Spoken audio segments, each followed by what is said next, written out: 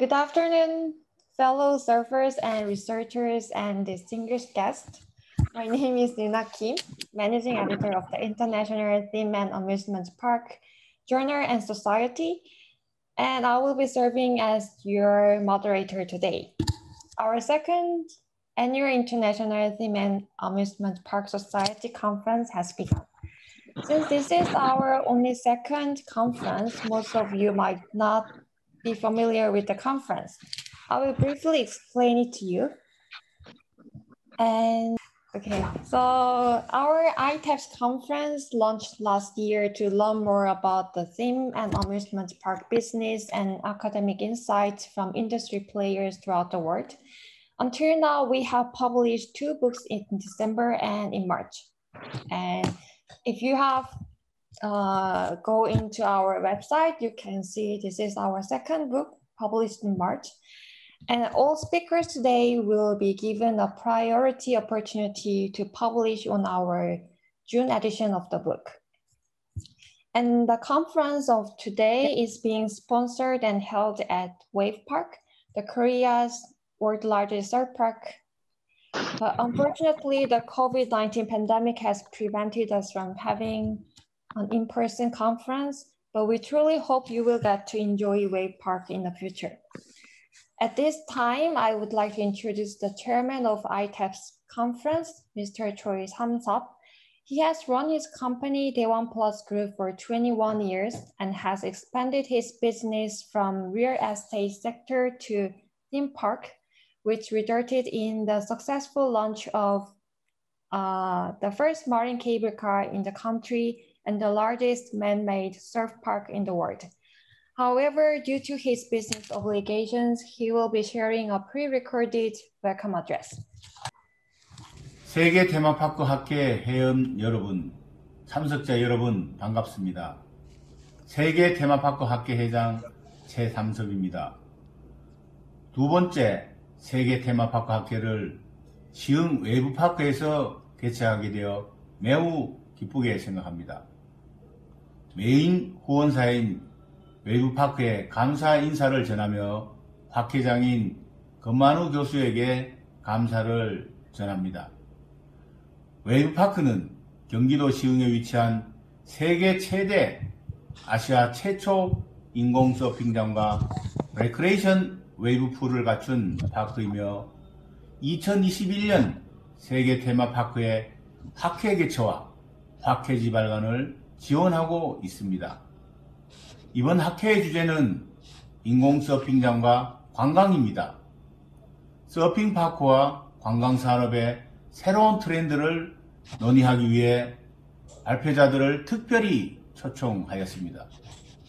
참가하신 여러분들은 국내외 전문가들의 지식을 습득하고 공유할 좋은 기회가 될 것입니다. 또한 ITEPS 학회는 학회 회원들이 토론을 통해 국제적인 시각을 공유하는 데 목적이 있습니다. 전문가들의 지식과 역량을 함께 논의하고 토론하는 자리를 마련하게 되어 기쁘게 생각합니다. 발표와 토론이 끝난 후에는 우수 논문 시상 등이 준비되어 있으며 마지막까지 자리를 함께 해주시길 바랍니다. 오늘 학회 참석을 통해 좋은 네트워킹의 기회를 갖기를 바랍니다. 참석해 주신 여러분들께 감사를 드립니다. 감사합니다. 시작. 세계 Thank you, Chairman. Sorry for. Sorry.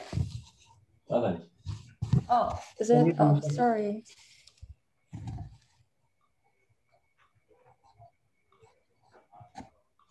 Okay. Anlatacağım. Stop share. okay. Okay. okay. okay. Thank you, Chairman Choi, for the welcome address. Before we get started, I would like to go over a few items. Uh, as Chairman Choi has mentioned that our main sponsor, Wave Park, has is presenting you with a gift at the end of the conference. Therefore, we would appreciate it if you stay until the end of this panel discussions. And you will have the opportunity to submit text questions to today's presenters by typing your questions in this conference room. And you may send in your questions at any time during the presentation. Now moving along to our session, uh, session of the keynote speaker. Please welcome Mr. Philip Cuddy, who will be presenting us on wave parks and surf therapy. Philip, would you start? Sure. Um, it's nice to meet everybody. My name is Philip Cuddy. Um, I'm in California right now. And I came to the wave park uh, earlier this year. And a lot of things that I've done in my life have paralleled what's happening at the wave park. I've been surfing for 52 years. I'm one of the people that may be the first person to surf in Korea in 1991. And also in 1991, we started a um, therapy camp for kids with cancer. And we did that at Leo Carrillo State Beach in um, uh, West Malibu in California.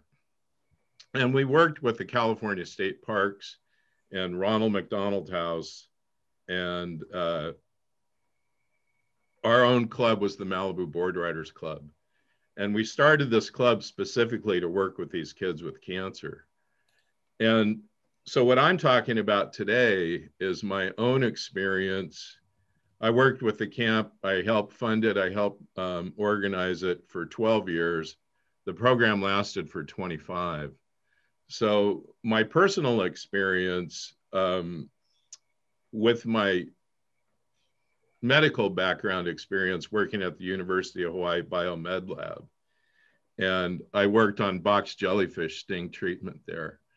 And so after reading Euna's paper, I decided that I could help develop a proof of concept.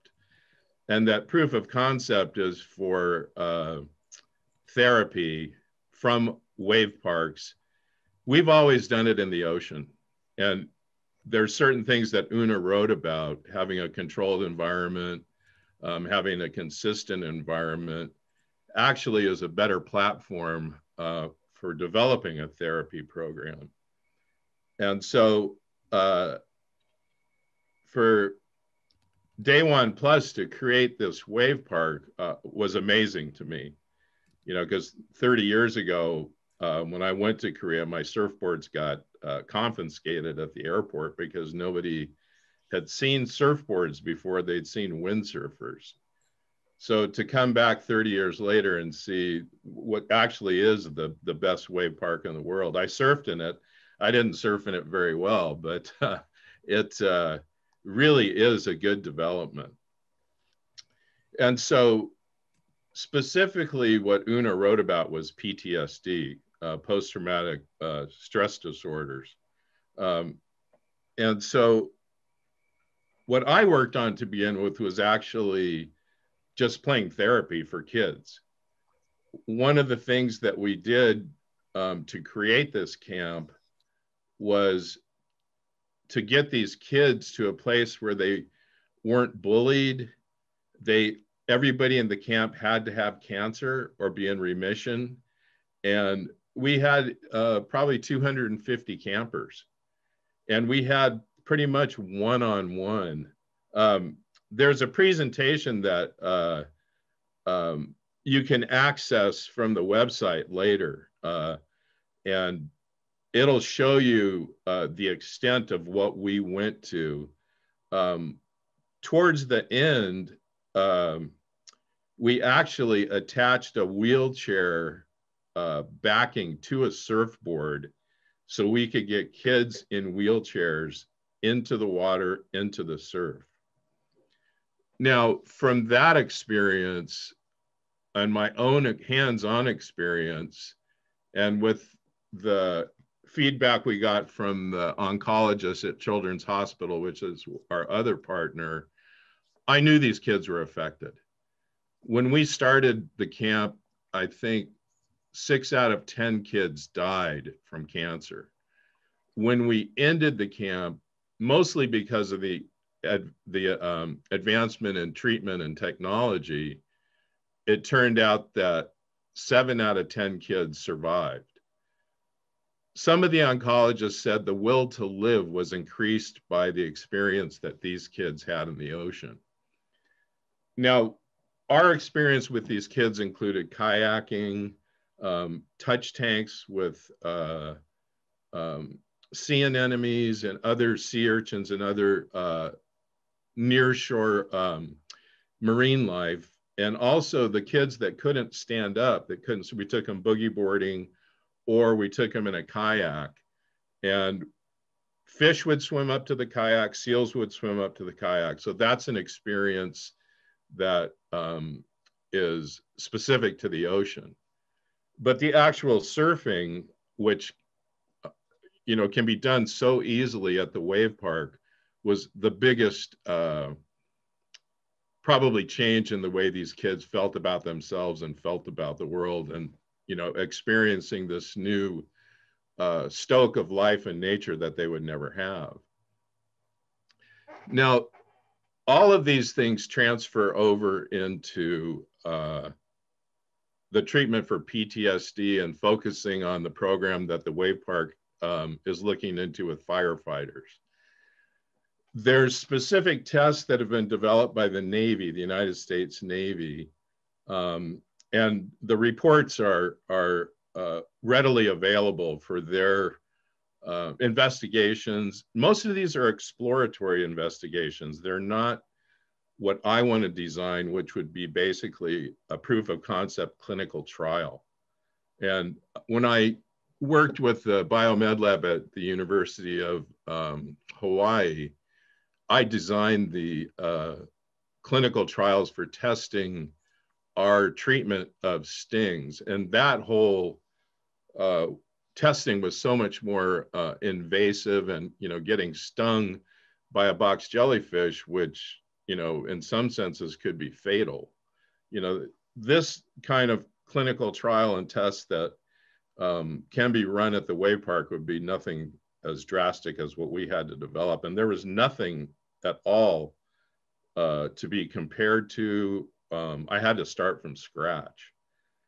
But what I found after reading Euna's paper and following some of the references that she had, I found three different kinds of tests that we could put together and um, collaborate with some of the groups that are working at the medical institutes in Korea. There's a group at Inha University.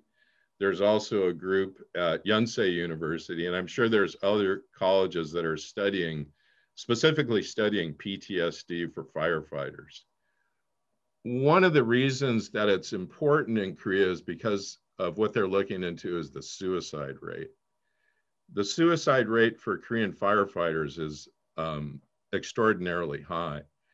The suicide, unfortunately, the suicide rate for Korea is extraordinarily high. I think it's overall number four in the world. So there's a lot of factors that cause stress. Um, and so in some of these investigations that have gone on before, um, the ones in surfing, for example, in San Luis Obispo, you have to decide whether what is the therapy? Is the therapy actually the surfing part? Is it the camaraderie where people that have PTSD and usually are by themselves get together with other people? Is it the physical exertion? So there's a lot of different variables that have to be uh, considered and data has to be collected to come up with a definitive answer. I'm 95% sure that there is a definitive answer and that there's the answer is that the uh, wave parks will offer um, a better format for therapy than ocean waves would. Plain example, there's days when we went to the water where there was no waves at all. There's days that we went down to the beach and it was too big, you know, so what Euna pointed out that they can control the waves, they can control the environment, they can control the, the temperature of the water. those things are all key. They're key to the treatment, they're key to the investigation. Um, there's tests that they do on brain size and brain function. It has to do with the hippocampus and the amygdala and your frontal cortex.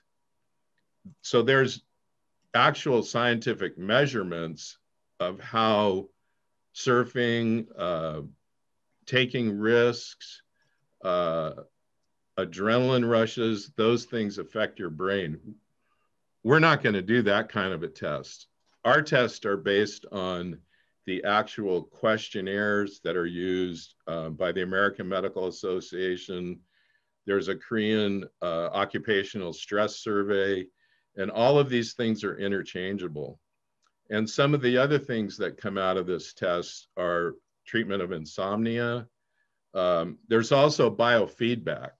Um, biofeedback is a, another area which is called alternate therapy or adjunctive therapy because right now for the Navy and most therapy, it's, it's talking or medication. And so they're always looking for better uh, avenues. And so with everything that I've found out there looking um, around after uh, reading Euna's paper, I think I can actually put together a program.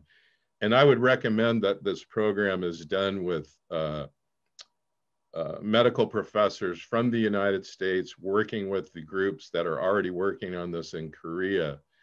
So you could have a better international um, proof of concept and actually use those uh, uh, results in the database uh, to expand the therapy because you know with wavegarden providing the kind of uh, technology that they have wave parks are going to start um, becoming more popular and the more we can take the advantages that Euna's pointed to and do the proof of concept um, the better it is for everybody. And so I think that actually, you know, wave park physical therapy will become uh, uh, a definite part of treatment.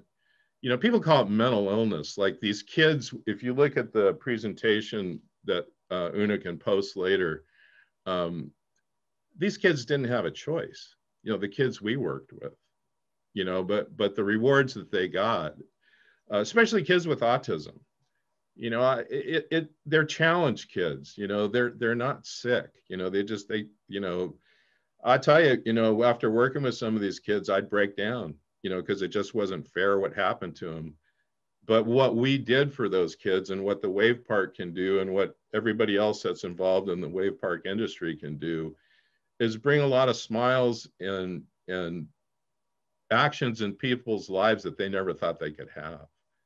And so uh, um, that's kind of you know where I'm at with with uh, you know I, I, put on a an event in 1999, and it was with uh, I think it was called a Schlitterbahn. It was the stationary wave park or wave machine where and and we did a, a, a surf contest with Swatch, and then in 2000 and one, I did a wave park tour for Seagram's for Margaritaville Tequila. And we went to a wave park at Lion Country Safari. Then we went to one in Astro World in Houston. And then we went to one, I think it was called Water World in Denver, which was a Six Flags. But to look at the technology that Daewon has um, developed with Wave Garden and Siheung is amazing to me. And I, I really think that um, to be able to, for the Wave Park to give back to help people with PTSD and these challenged kids is, is another really big bonus.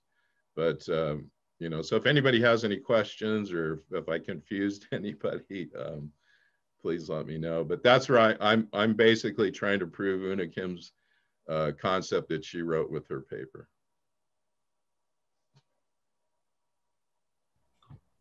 Okay, thank you, Mr. Philip. So as he has, yes, as he has mentioned, Yes, if you are interested about the surf therapy program and also the my paper, which was published in the first book of our ITAPS journals, you can go in and download to from our website. And as he has mentioned, Wave Park is developing uh, without advice from Mr. Philip to develop surf therapy program for the firefighters with who are likely to have the higher rate of PTSD. Uh, hopefully, if we can, we can expand this program to kids with autism and cancer. And now we may proceed to the first session of the conference for the surf park industry. It is now my pleasure to introduce you to Bryan Dickerson, editor of Wavepool magazine. Bryan is a chief editor of Wavepool magazine that explores the expanding universe of Wavepool in the world. He's a communication specialist with a fastidious eye for the detail and deep skills for storytelling across any or any and all digital platforms. Please welcome Mr. Bryan. Thank you, Euna. Um, it's it's great to be invited here, and it's great to hear uh, Philip's story and how how wave pools are helping reach communities that uh, traditionally are um, hard to hard to reach and, and really help people. There are a lot of ocean-based programs, uh, surfers healing um, for for autism and such, and they always contend with the ocean.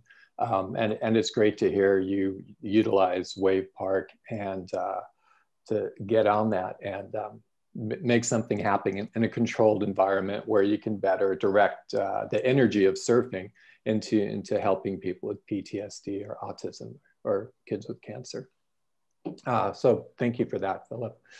Uh, Euna, how much time do, uh, do I have? Uh, 15 minutes, Bryan. 15 minutes. Okay, great. Yes. Uh, I have about a, a, seven minute video, which I'll show in the, in the beginning.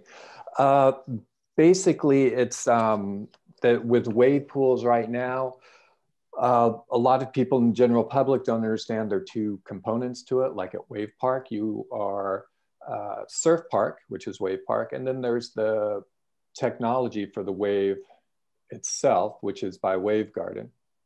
There are several different technologies on the market uh, at this point, roughly 20, and they all work through varying uh, systems, whether it's pneumatic or foil or lever-based system like uh, WaveGarden does. So it's uh, just wanted to clear that up first and uh, let let everyone know there is a distinction between the two. And sometimes that's uh, glossed over. A brief history of wave pools, uh, like Mr. Cuddy was talking about the, uh, the wave parks back in the day. They're um, the first one, interestingly enough, while through the 80s, most wave pools were for people just to go swimming and bounce around. The first one in Arizona was dedicated towards surfing, and it lasted that way for a couple of years until they realized the larger market at that time in the United States was uh, people swimming rather than just a surf dedicated component. Um, and then after that, we had Typhoon Lagoon and uh, some, some other places. Uh, Ocean Dome in Japan was amazing. And uh, then in the around Y2K, uh, Wave Garden started up in the Basque Country of Spain. And uh, Fernando and Karen came up with their design in their system, starting with a foil. They tried a ring system, which was uh, pretty interesting, but they were just super dedicated and came up with the design that is dominant in the surf park space at this time, which is the Wave Garden Cove. And for very uh, many reasons, people deploy it. It's uh, consistent, it's um, offers a lot of waves, a lot of throughput, and it's um, it's it's very popular.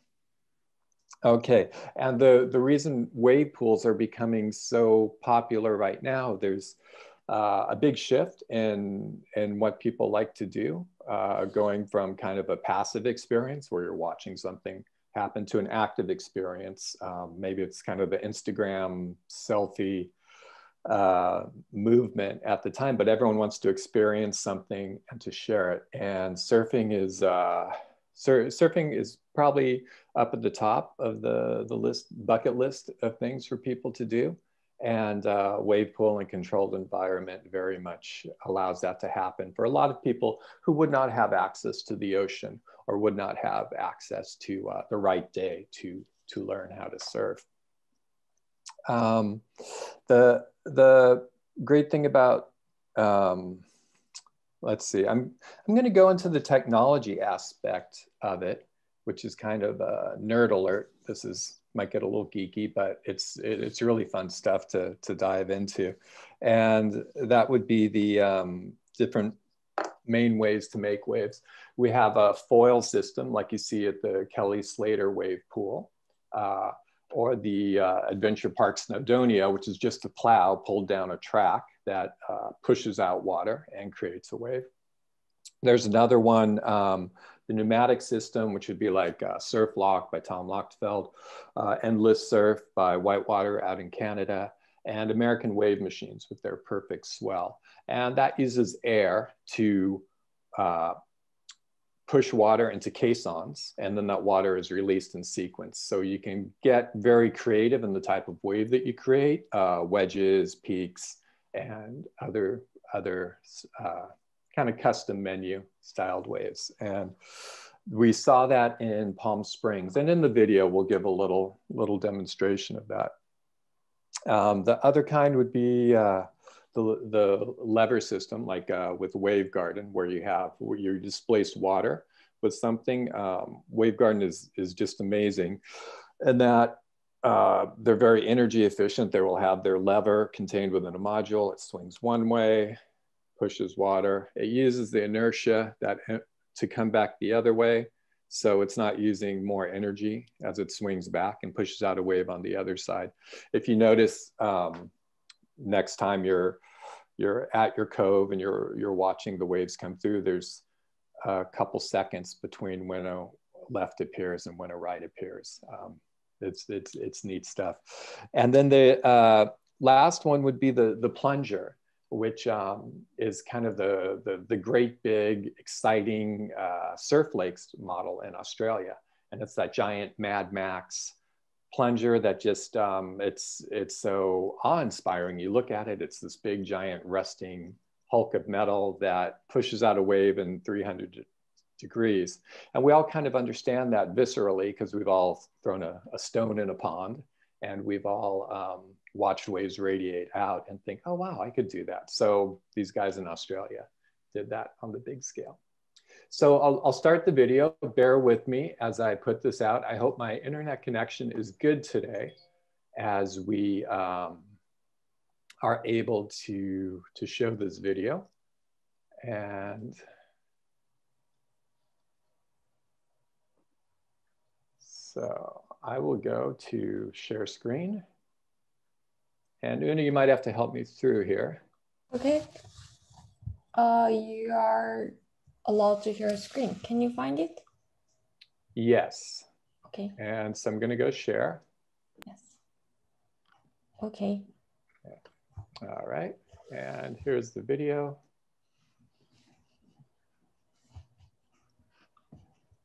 Kelly's Slater Wave Company.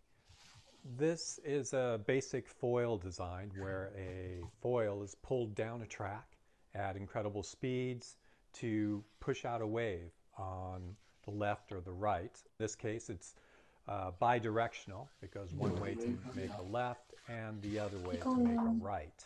Uh, other systems push out a wave from both sides, but it's a basic foil setup. The Kelly Slater Wave Company uh, believes strongly in this design. It's it will be the main attraction at the Coral Springs development in Palm Springs, Palm Desert coming up uh, this uh, later in this year. And while it produces an incredible wave, it uh, does have its, its limits in terms of waves per hour. There's not a lot of waves generated, just one super long, super quality wave. And it, uh, it works for the WSL, it works for exclusive members to, to clubs like Coral Springs, but for your average proletariat surfer punching the clock. It's not going to work as well because it is more expensive. Is this coming through okay, Euna? Yes, Endless yes. surf. It, Endless Surf is a part of Whitewater West Industries, which is based out of Canada. And they've made slides and other water park attractions for years and years 40 years, I believe. And now they've uh, gone into the surf specific wave pool market. And this is really exciting because they have a lot of know how in terms of engineering, in terms of construction and development, so they know how to get a project done. Their technology is uh, pneumatics based, so they're going to have caissons that push air uh, to push out waves, and the waves will run along their unique heart shaped pool, which uh, is great. It maximizes uh, coastline uh, in the pool and it can accommodate quite a few surfers. And we should be seeing something very soon.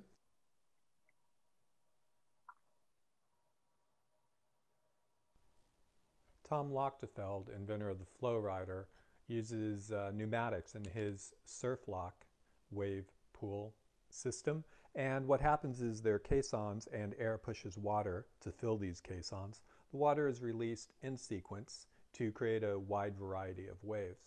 Now the system is very popular in terms of uh, wave creativity. You can create all types of different waves as evidenced by the Palm Springs Surf Club debut in 2020 where we got to see Tom's technology and the strength in this system is again the the creativity in producing a variety of waves you can uh, make the pool to various specs larger or smaller at Palm Springs they have a the demo pool we saw was an 8 caisson pool and they're currently constructing a 16 caisson pool which will produce uh, larger waves and a longer ride.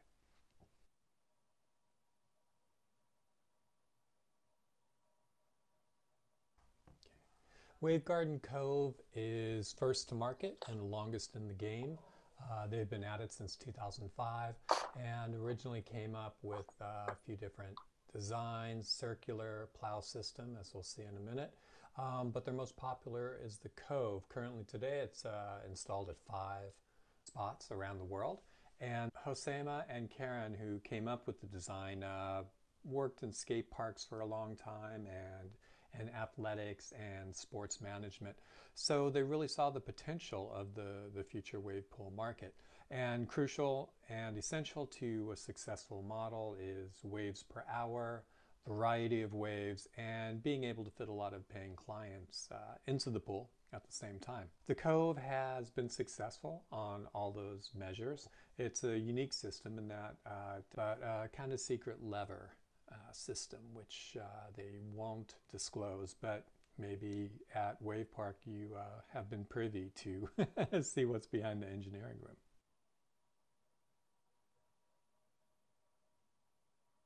Wave Garden's lagoon system uh, was the first technology that really opened people's eyes to what's possible in this uh, new generation of wave pools. It's a plow system. It runs down a central pier and produces a left and a right at the same time. Uh, the strengths in this type of tech are that you get a very long ride as long as the foil will travel. And it was the first to really start the whole wave park movement. Uh, we saw Adventure Parc Snowdonia deploy one. We saw NLand in Austin, Texas. And it really kind of kicked off this whole uh, wave pool momentum that we're seeing right now.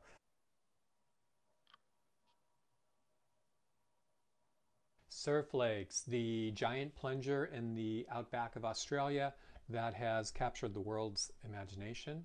We've seen it produced uh, on many news programs in mainstream media. There's something wonderful about this system. It is very complicated yet simple at the same time. The premise is simply like dropping a stone into a pond. Waves radiate, radiate out 360 degrees and uh, break along different shorelines and bathymetry.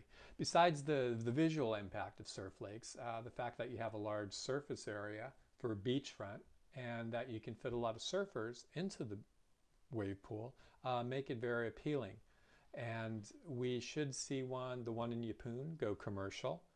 And uh, it'll be interesting to see how their business model develops.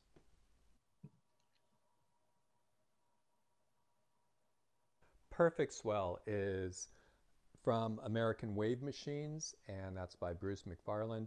And this is a pneumatic system with uh, caissons that fill with air and then push out waves in sequencing. Currently, there's American Wave Machines Perfect Swell about to open in Japan. And there's, of course, the one in uh, Waco, Texas, which uh, took the world by storm. Uh, everyone loves that system. They're, they're booked up months in advance. There's a core group of surfers, you know, hours from the beach who, who book up regularly and buy season passes. Um, the great thing about American Wave Machines Perfect Swell is that it's one of the leaders in terms of creativity in producing a wide variety of waves. So through events like Stab High and some special video uh, productions where they create a certain wave for a team rider or an event. Um, it's really, really uh, flexible, and that's a big strength of this system.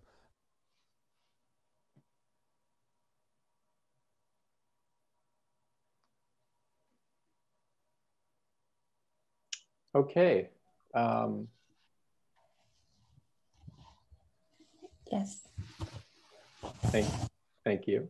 Uh, so we'll um, oh, stop screen share. Sorry, as okay. I, excuse me while I bumbled through the uh, technology part. Okay.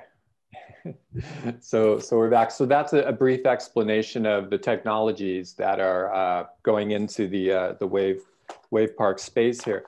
But additionally, there are um, companies, uh, the, the Xingfeng uh, Extreme Center in China, they just built a plow system. Uh, South America has two technologies going, OLAS and uh, WaveSeg, um, as well as some others that are waiting to hear, uh, waiting to get their funding to create waves, Wave Prisms, which is uh, similar to Wave WaveGarden. And then also there's um, Webber wave pools from the, the very fertile mind of, of Greg Webber. Um, so, and, and that should be really interesting uh, when, when, he, when he has that come out.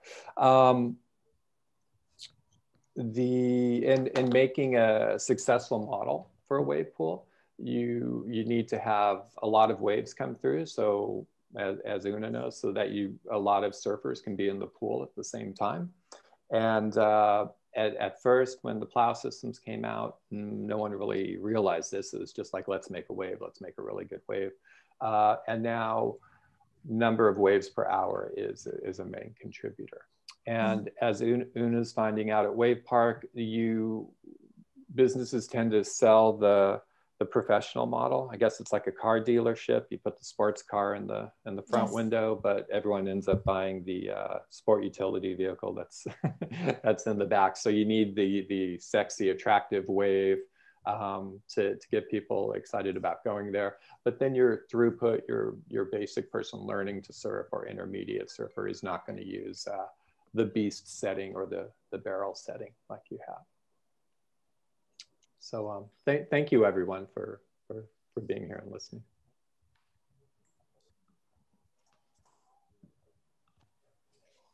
Thank you, Bryan, for your interesting presentation. Uh, and thank you for clarifying the brand name of Wave Park, because Wave Park is actually the brand name of our surf park and also the surf pool and Wave Park also has opened the recreational pools, like diving pools and family for kids pools. So it's all kind of water park creations. And as we all know that surf park or wave pool is now definitely a trend, trending water park systems in, in the world. And that's why we can give people who doesn't have any who didn't have any access to the ocean, we can give them opportunity to surf or enjoy the waves. And now we are moving to the next presentation from Surf Park Magazine CEO, Mr. Skip and Miss Cate. But because of their time differences, uh, they have shared the pre-recorded video. So I will share with you the video. All right. Hello, everybody. My name is Skip Taylor of Surf Park Management. Hi, I'm Cate Thero, also of Surf Park Management, and we're very pleased to be here today to make this presentation on man-made surf parks and the road to success for the International Theme and Amusement Parks Conference and for the Wave Park. Hi, as we get going with today's uh, uh, presentation, I'd like to introduce ourselves and give a little bit of background. We formed Surf Park Management in 2017. It's been very active for years, working with some exciting projects. Some we can talk about, some that are uh, uh, private, still in development stages, but uh, two primary ones that are in one's in construction right now in Ewa Beach in Oahu is called the Lineup at Waikai. Uh, plus, we're in some exciting stages with the Cactus Surf Park project in Phoenix, Arizona. Um, I personally have traveled to almost every surf park around the world uh, over the last seven, eight years, working with uh, we're technology agnostic, working with all the different wave technology manufacturers, and we're out here supporting developers uh, and uh, owners of surf parks in trying to guide them to the path to success, along with Cate, my partner. I am Cate Thero, also co-founder with Skip of Surf Park Management. Um, we've been working on this from all the different stages, from feasibility studies to working on ongoing operations, and uh, we really bring a team of uh, experts, really deep from the ski resort, uh, food and beverage, hospitality, and spa to work with us on all aspects that we can now bring to this um, emerging surf park industry. We show we really are very innovative with our strategies, focus on the experience and customers, results oriented. Oriented, what gets measured, man, gets managed, gets measured. And we're also very tech forward. We love to take advantage of all the new technologies so that we can leverage and increase the guest experience and operational efficiency. Skip, why don't we take it to you? Sure. Um, one of the first questions people ask as they look into the space of what type of uh, attractions are going to be built, why a surf park? Um, I'll just run through some of the key points. Modern technology now provides quality waves and a profitable business model. It really has evolved. Even though surf parks have been around for over 20 years, um, it's really only in the last three to four years that the technology advanced to the point of having a viable uh, technology. Um, there's a growing and committed market. The initial surf parks are showing some great returns of people visiting and coming back over and over. Um, the appeal of reliable, convenient, and uncrowded waves. Um, surfing in the ocean these days is getting more and more crowded and creating a tougher, um, less uh, inclusive feeling. Um, and surf parks neutralizes that completely. Um, they are also great traffic generating for anchor attractions to different types of development models, whether it be commercial or resort or residential, um, some great opportunities. Speaking on those models, within the real estate model of selling real estate, every time you build a surf park, they're finding great enhancements to the real estate values that are around these surf parks. It's also positive and consistent economic impact to the tourism regions that these are launched in. It's been shown to be very strong positive responses. Um, obviously, surfing is a cool and popular sport. Um, and the key to that, it is a sport. It's a legitimate sport. This isn't a water park. It isn't just a fun novelty attraction that somebody comes once a year. This is something people come to do as part of their passion. Will do multiple times a week, or if they can afford, uh, have the convenience of having it in their own backyard, or they'll travel to it multiple times a year if it's nearby. Um, surf parks are also becoming very popular with surfers up to the very highest levels. With it being an Olympic sport right now, you're seeing teams and people coming to train at these facilities as an excellent place to have reliable, redundant, consistent waves. Um, it's also, we say limited water resources required because a lot of people are looking this and compare it to golf or other attractions and water parks a, a, a, a, surf park right now only requires the equivalent of one and a half holes of water to a golf course um, of what a surf park operates on. So it is actually very good. and it's a great time to be in the industry. It's an early mover positioning posi- uh, point right now in the industry, and surf parks are a great addition into the mix of uh, amusement uh, and development opportunities. Um, the relative size of the surf market right now, surf participation, it's big around the world right now.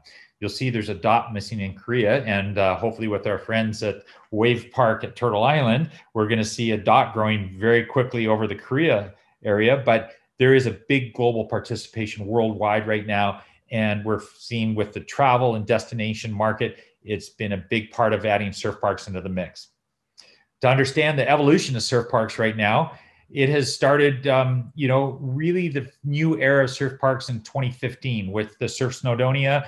And then just a little bit after that with Kelly Slater coming out with their technology um, and both kind of on what we call a sled or uh, a, a, wake that's drawn with a, a, cable through the water with a, a, large plow that creates the waves.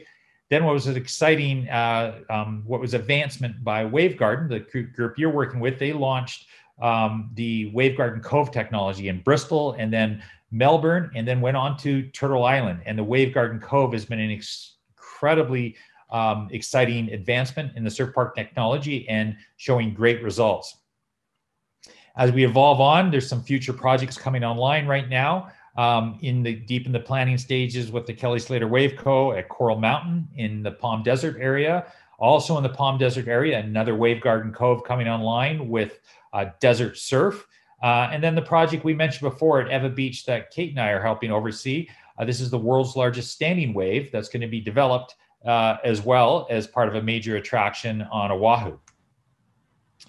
The evolution then takes another step beyond the uh, smaller land parcels to much bigger uh, envision projects. And I think Wave Park Turtle Island is probably the most significant step in the uh, model of surf parks right now, where it includes a much broader vision of hospitality and hotels and theme parks and entertainment.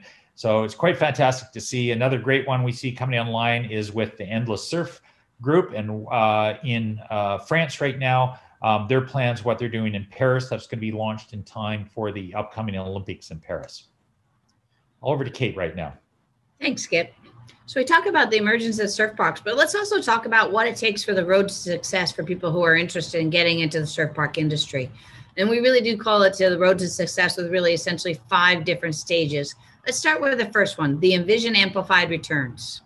So what we talk about this is, is a surf park but it has to be more than just the surfing. It has to have all the different components to it to really create a diversified revenue stream to increase the dwell time that people will be there and also to appeal to the different niche markets for for a whole family. So if someone isn't surfing that they could go doing dry land activities or shopping or other special programming and events that keep it fresh and then make it so that even the local folks want to come back over and over again. So that's sort of our amplified return. Skip, why don't we take it to the next step on the road?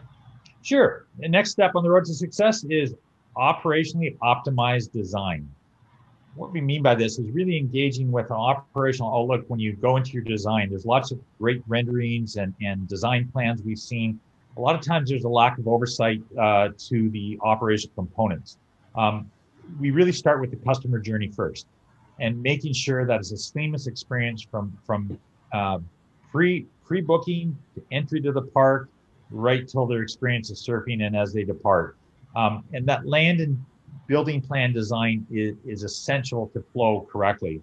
And then there's the uh, FF&E and OS&E plan and making sure that you're having all the um, setup and plans to work properly, including uh, systems that work from kitchen design to back of house office space and making sure you've accommodated for all the operational elements you need to consider.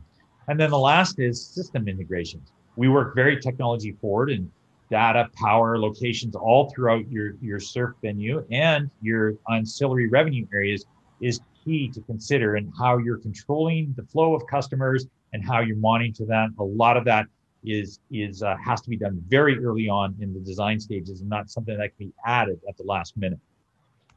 Next up to Cate. Sure. The next step is really what it all comes down is we call it the customer centric marketing. And we we're on the customer centric marketing. It's really about getting looking at who can come when, seeking what experience at what price. And that's really the work of customer segmentation and understanding the different markets and how you can attract them. And then also looking at your sales funnel. How do you bring them from becoming aware to actually showing up and booking and then becoming loyal advocates for their surf park? And again, to, in order to do that, bring them through the nurturing process, it's a multi channel a process. So it's not just our independent travelers. We really need to rely on the group business because the pre-book business is a key element for us to what we call weatherproof. In case there's any bad days, you can have some groups booked, working with your travel partners, programming, uh, uh, some of the different uh, activities, and also making sure that you're working with your travel partners, travel agencies, and uh, wholesalers, as well as the corporate groups. Multi-channel work through your sales conversion funnel and segment your customers seems to be our keys. Skip, back to you. Great. Uh, let's talk about balancing the three-legged stool. Um, we have three partners that we always consider at every uh, opportunity we work with in the surf park world. One is the financial partners and the investors, and ensuring that they are getting the data and the reporting, the information that's needed to not only what's happening that day, the past month, but forward looking is more important. What are your bookings? What are your outlook? where are you going so you can make those adjustments to react and be proactive in in steering the ship uh, of uh, the operations of the surf park the second key to success of the pillar is the customers um, and obviously they have to have a seamless experience from start to finish and they also have to have an experience that's going to inspire them to come back and be repeat customers we want them to have extended dwell time so they stay longer they spend more they have a better time and they're more likely to come back over and over. Then the last uh, uh, leg to the stool is the employees. Often overlooked is the employee culture and creating a, an environment where you're the preferred employer of that region. Oftentimes, these surf parks are built in regions where there's lots of hospitality and entertainment activities around, and you need to stand out and create a culture for your employees uh, that allows them to want to stay and be long term and loyal to you. And you have one great advantage in the surf park world, and that is most people really want to enjoy riding the waves themselves. So setting yourself up to give surf time and activities for your employees early in the morning, late in the evenings, or uh, between shifts, if you can include them in some of the participation side, it's very similar to the ski industry as well. It's a great payback and a bonus for employees. Over to Cate. So the, the last stage on our road to success is really professional management. And the requirements of this professional management is you, you need to have managers who are adept not only at managing the surf side of it, but really it's the full experience from food and beverage, the retail and rental, sales and marketing, getting people in the door, programming, making the activity fresh, working with partners, leveraging brands, and of course, managing the general administration, the accounting, the human resources, all of the elements of that facilities maintenance. And so, where we look at it, we've got the three stages of engagement. And Skip, why don't you start us off with the first one? Sure. We, we typically recommend these are the stages and phases as you go into the mode of developing a surf park. One is the technical services side, and that involves initial concept and viability review and feasibilities uh, analysis to make sure that you do have a chance of success from the start. And the uphill battle isn't in place, that you've picked the right sites, you got the right technology, those type of things. Then you go on to the concept plan, uh, including operational planning, land planning, FF&E planning, and then into the operational plans. And you these are business plans, sales and marketing plans, critical path over the year to two years of building your park and facility and bringing in all your uh, onboarding your technical and software and configurations. And then the next stage really is pre-opening. And we look at this stage as probably the six to nine months leading up to opening when you're really putting everything in place. You're starting to hire the on-site employees, um, finalizing your line item budgets, negotiating with individual vendors, whether it be food and beverage vendors or retail vendors, buying your equipment, executing the sales and marketing plan, getting the PR out, getting your building your database of potential customers, contacting your groups, uh, meeting planners and, and travel partners, and then also building all of the finalizing the structure so that you're moving the staff in, you're setting up the furniture and fixture, getting all of your on-site operating supplies and equipment, a final installation of the technology, the POS, you can do your online bookings, the surf technology is working, everything's been commissioned, the licenses are done. And then you start on your soft opening to make sure that the staff is fully trained and they've gone through all the safety and risk management so that when you do finally go to that grand opening that everything is running on all four cylinders and it's just a phenomenal experience for guests employees and the investors. And skip why don't we take us to the third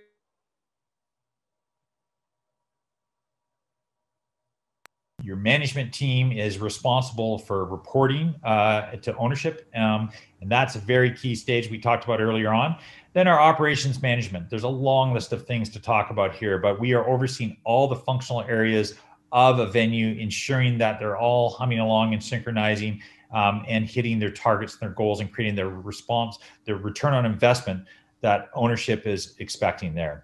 Uh, the final stage is ongoing financial planning and analysis. Was Cate was saying early on, what gets measured gets managed. We're very robust, and any management company should be on measuring all analytics of operations from technical side of power consumption to your your staff uh, uh, ratio and um, and optimizing uh, your your management of staff um, down to um, uh, uh, water consumption and all there's so many areas of the analysis and planning that we comes into play here and there's many tools that you can bring to life to, to do that so that wraps up today's presentation. And if you want to keep in touch with us, you can look us up at Surf Park Management. And uh, it's been a fantastic chance to get to uh, showcase the surf park world to the ITAP world. And I'll, I'll, let Cate sign off for a final thank you. Yeah, it was a pleasure. And I'm uh, look forward to visiting uh, Wave Park at Turtle Island and wish you all the best of luck there. Thank you.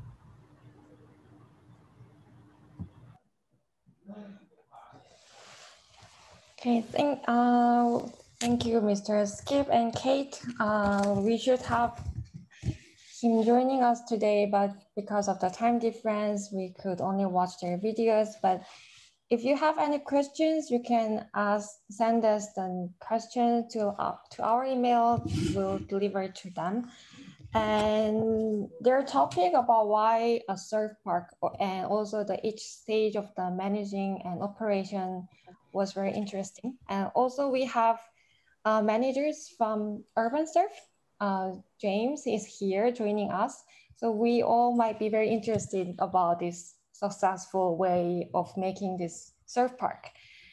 And, and they also mentioned that not only uh, about their facilities or technologies are important, but we also have to take care of these customer experiences. So we have to view the surf park experiences from the customer's perspectives. Our next presenter, uh, Ms. Soojung Kim from Pusan National University.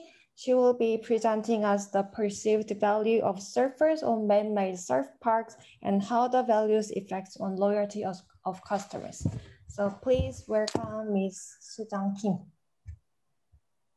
Uh, thank you, Euna. Let me share my presentation first.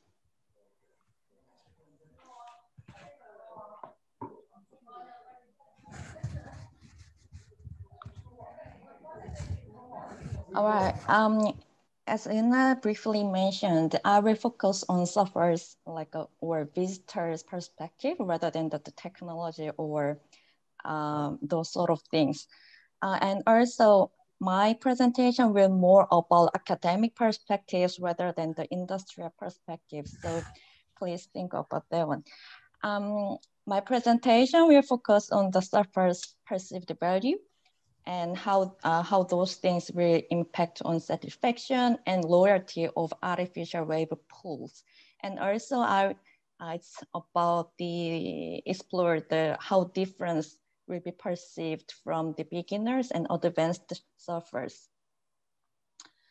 Uh, as already the present, as already the previous presenters presenters mentioned, surfing is one of the fastest growing sports. It's around 23 million of surfing population around the world. And as the before the previous presentation mentioned, uh, it's mainly from the North America and Australia and Asia is about the growing uh, market. And also the, there is the increasing surfing market. It's about 3.1 billion in revenue from the hardware, such as surfboard and also wetsuits or footwear by 2026. And we already know the surfing is the sport of riding a wave toward the shore with using surfboard. And surfers is also mentioned as a nomad of seeking uh, perfect waves, which means waves is the uh, very important for surfing. However, because of the weather or because of the temperature and because of the all the reasons, it is not easy to get the perfect wave and the eager chase for the perfect waves result the development of artificial pools. And as we already know, Wavegarden is the leading company of artificial pools.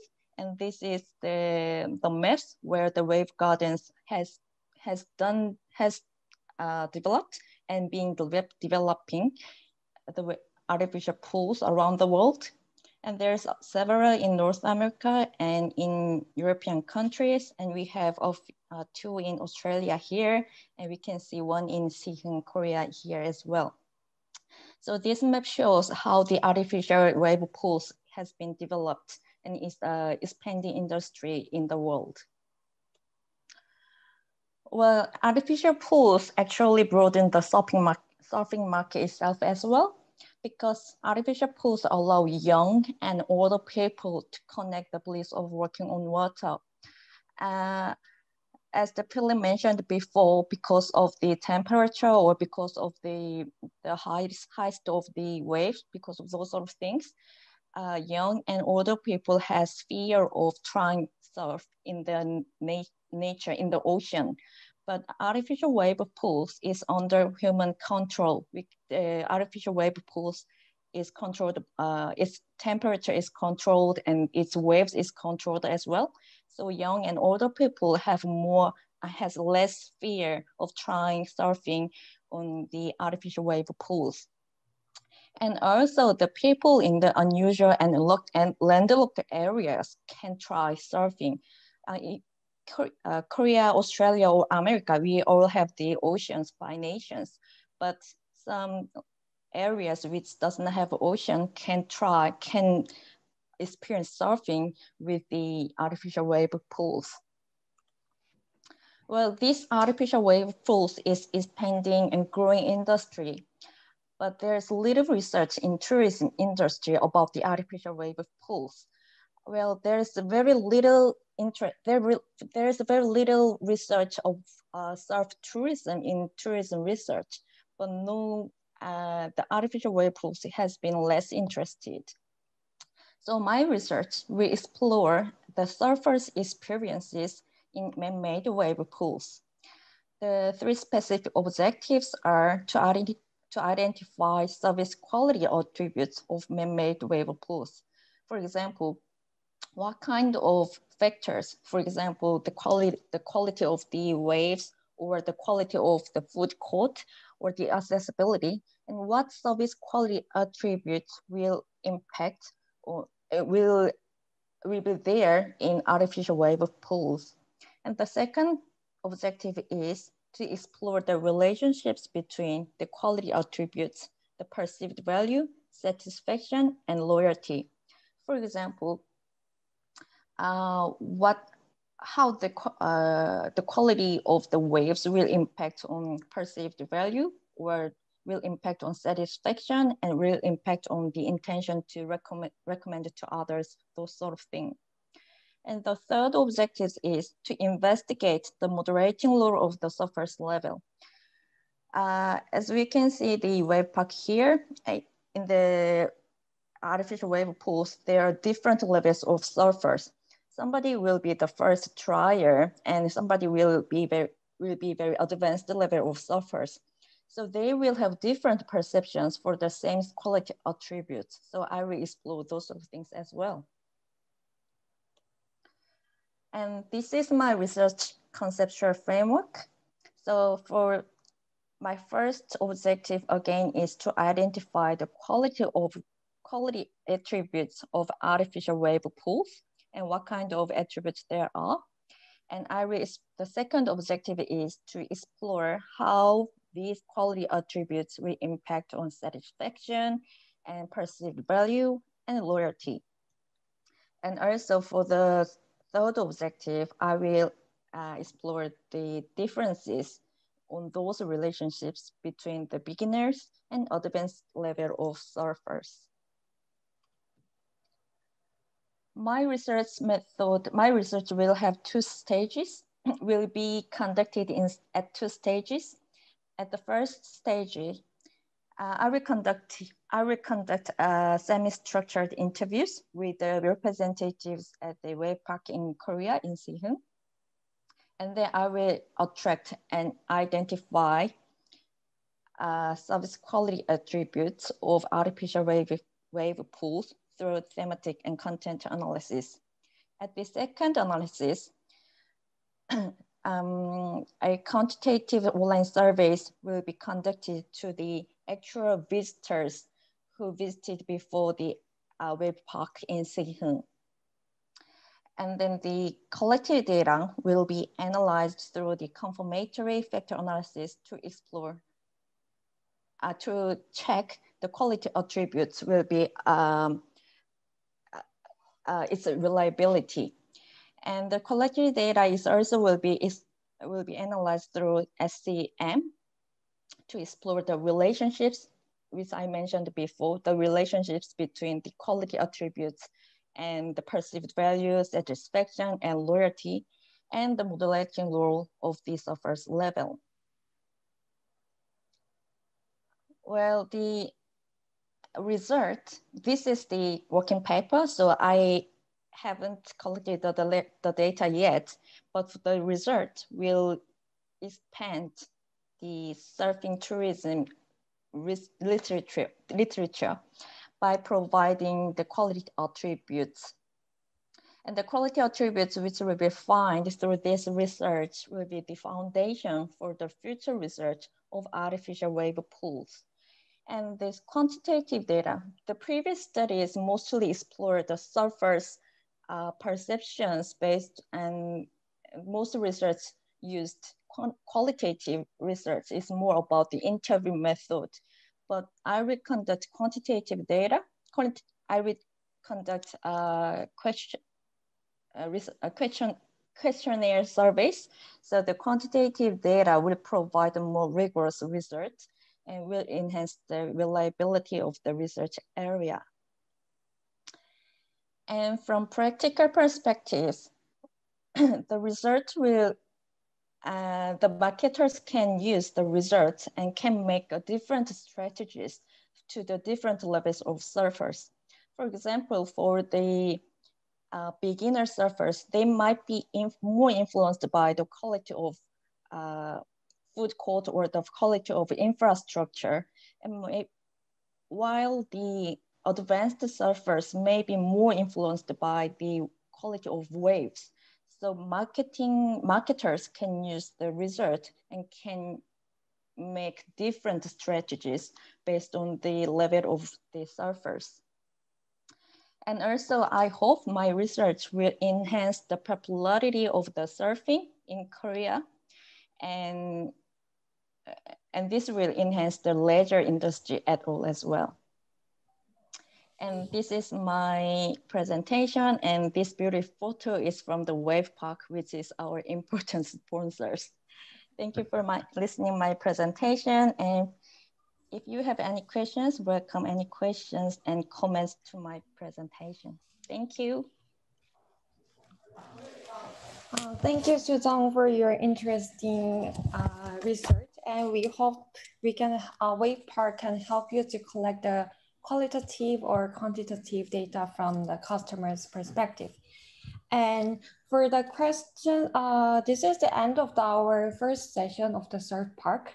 For the questions and discussion panels will continue after we finish our second session of tourism. So uh, we have mm, we have our panel discussions. So please wait until the end of the discussion for the second session.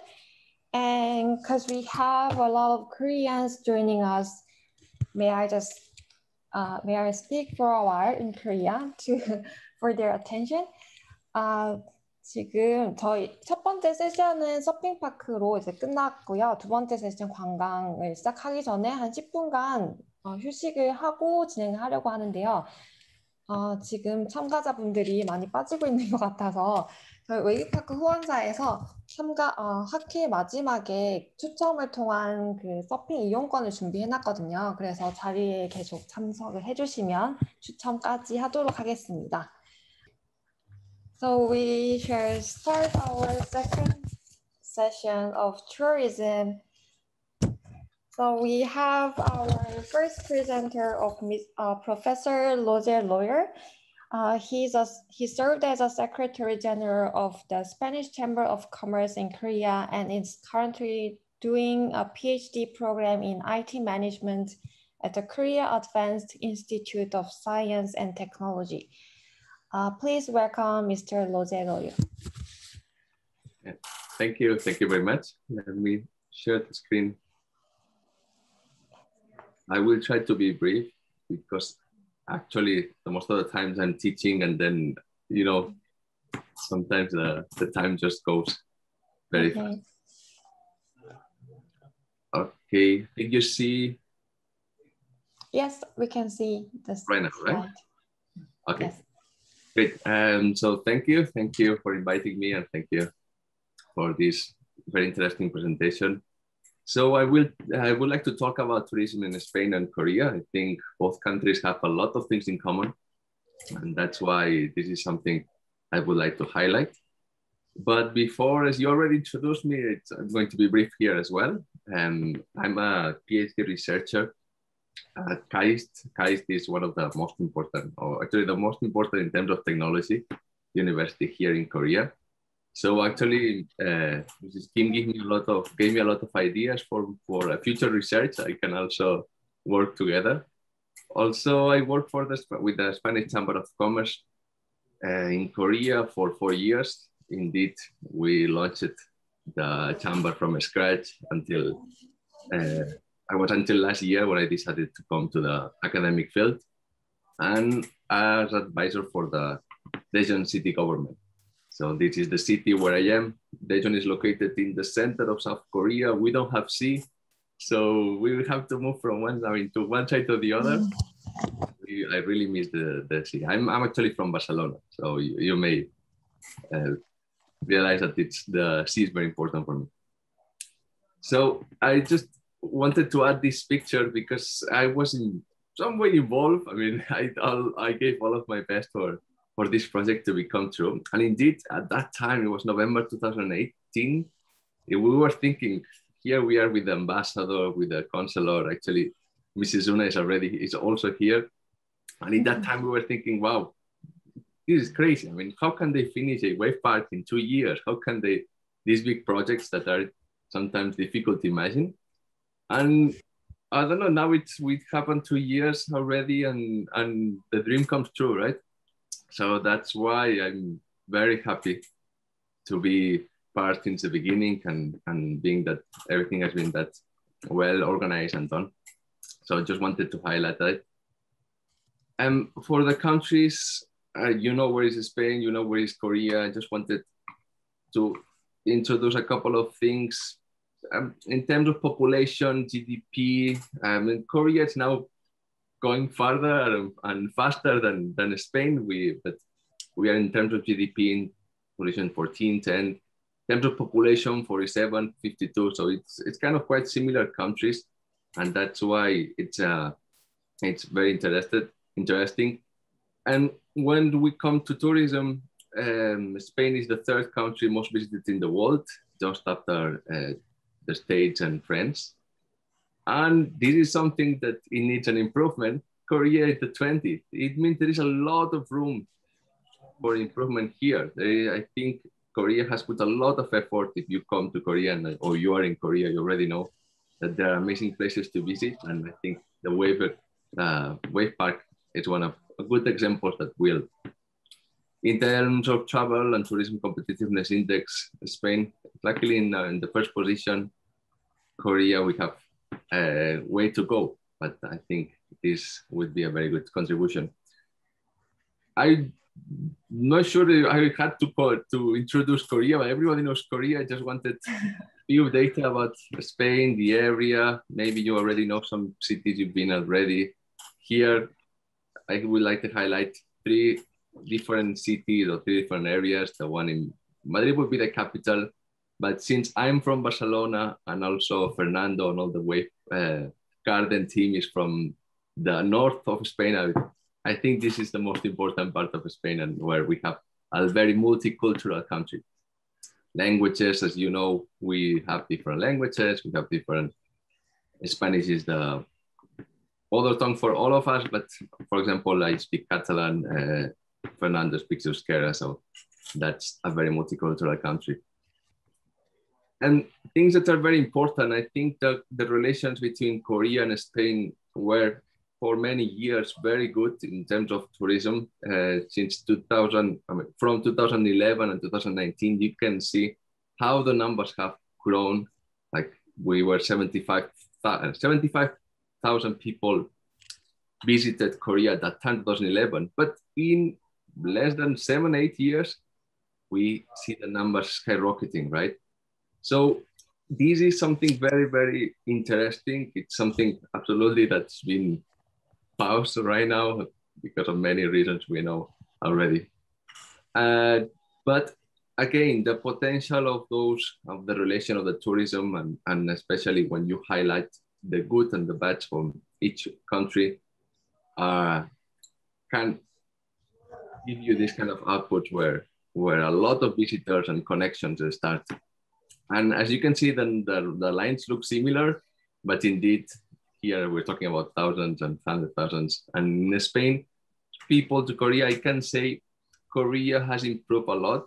It's um, kind of way to show the world how where they are, how they are. I think K-pop on the Korean wave uh, that it's not just for music, but also for film and other different areas has improved a lot. And I think that will be, uh, that will be, give benefits to many different areas as sports and uh, languages and culture. So that's why this is something very important. And I, everybody knows how uh, why tourism is important, and but I think I, here I would like I would like to highlight to understand why we we come from eleven thousand or or seventeen fifty thousand seventy five thousand to six hundred twenty nine, and I think if you were in Korea, you already know. If you are from another countries, you can not imagine the impact of those TV shows. So indeed, I just highlighted few of them. So those are TV shows where some Koreans, in the first case, like Kotboda, Albeda, people went to, to Barcelona and start showing the city, start showing places. So suddenly everybody were like kind of, wow, we need to visit that place as well, right? Then, then there was another program, Chictang, where they went to Canarias Islands. Another program, the Spain Hasok, where they had a hostel just next to the uh, Camino de Santiago, like Santiago's Road, I think it's called. So the, the, the TV shows, the dramas had a very important role in order to improve and, and as we say, to connect Spain and Korea. And I think this been done, done in one way. I think nowadays we don't see that impact yet because we are not traveling. But now I see even people from Spain just telling me, "Oh, how Korea it is! I want to go to Korea. I want. I'm eating a McDonald's, BTS nuggets, and I want to see how where the where their nuggets come from, right?" So it's a very interesting point here, and then the culture has a very relevant uh, role to improve the tourism in both, both countries. And just to highlight that, also I wanted to say that it's not about tourism. I mean, tourism is maybe what we see, the iceberg, but that, but behind or, or below the sea, we see there are many things, many, many different ways where our countries are sharing and our, we improve the connections. I mean, the culture itself is maybe the first thing you see and you discover. But then you, you connect with the sports, as we see. I mean, I'm from Barcelona, you may know the team I'm supporting. But the surf in the north of Spain, the different, I don't know, the, the Formula One, everything that we have, it's a very good opportunity to connect our countries. As well, I think Korean language and Spanish language are in some way the, the first place to, or the first thing you do if you want to really deeply know a country. And that's why I think this tourism has impact in many different areas and the commerce as well. I think this is the area which are where I was more connected with because since I was in the Spanish Chamber of Commerce, we we knew from the first moment that since Korean were visiting Spain, later they were coming here and they were saying, okay, I want to keep tasting those chips, like those olives or whatever it comes. And this is, I think, a good example as well. I want to keep surfing with uh, waves on the north of Spain. So maybe I would find a place here in Korea that I can have the same experience. So I would like to, to highlight, and by the way, the idea of bringing this Spain or uh, Spain flavor with the Spain gill that you have on the these projects that you have to connect these two countries are very very beautiful and very insightful. But then, and I think it's a bit sad to say and to talk about that, but it's we need just there is a hope, right? I mean, we know this black swan event, something that couldn't happen, that we were that we did not imagine that could happen, just happen, right? And then you can see the lines, right? Uh, everything, how good was it in 2019? And suddenly 2020 February, I was actually coming from Spain to Korea at that time, and then I have never left that from since that moment. So I'm I'm just stuck here, waiting for a good moment to return. I mean, uh, to visit at least my family. So this is something that absolutely has impacted our life, but we have a solution in some way. We have a it's um, maybe people may say that it's not a perfect solution that maybe the things can change can evolve but as we see we see news i think i got those different news from from yonhap news just a few days ago how south korea will allow overseas groups tours of fully vaccinated citizens or even in spain welcomes all vaccinated tourists it means I don't know. I'm sure you are already you are sharing that with me. You have the feeling to. I mean, just live and start a new normal life. I'm indeed vaccinated here in Korea, so I mean, it, still we are a bit slow, but I think uh, the solution is coming, and the moment where we are just gonna use all the money we have saved during those months and spend it and spend it, and I think we have to be ready and and have the places to enjoy. And I think that's why the what what is next, right? When we have this solution, I think at that point it would be up to people. That's the most important. And I think I will I wanted to highlight this part because it's if we have the trust, we have the willingness, that's for sure. We really want to to get out and then maybe for surfing it's not that difficult. You don't you are not that much surrounded of people, but still, you know, I mean, nobody likes to be. And again, I think many, um, as I mean, I've been in private organizations, I've been working with public organizations. I think we have a very important role. I think Wave Garden and Daewon Plus, I just I just uh, put it here because I think it's in some way we need to give this trust that okay places are ready, safety. I mean, no no problem with the. We are following all these kind of uh, rules that we need just to be aware of. But the idea is once we can start with this new normal, thing that things will come back to the past, and in some way, I, the public organizations have a very important role. I think the embassy, I just highlighted here the, the Instituto Cervantes is one of the, um, it's the public of, uh, organization for the Spanish language, as well as Tourism Spain mm. or the counterparts in Korea, which have a very important role as well.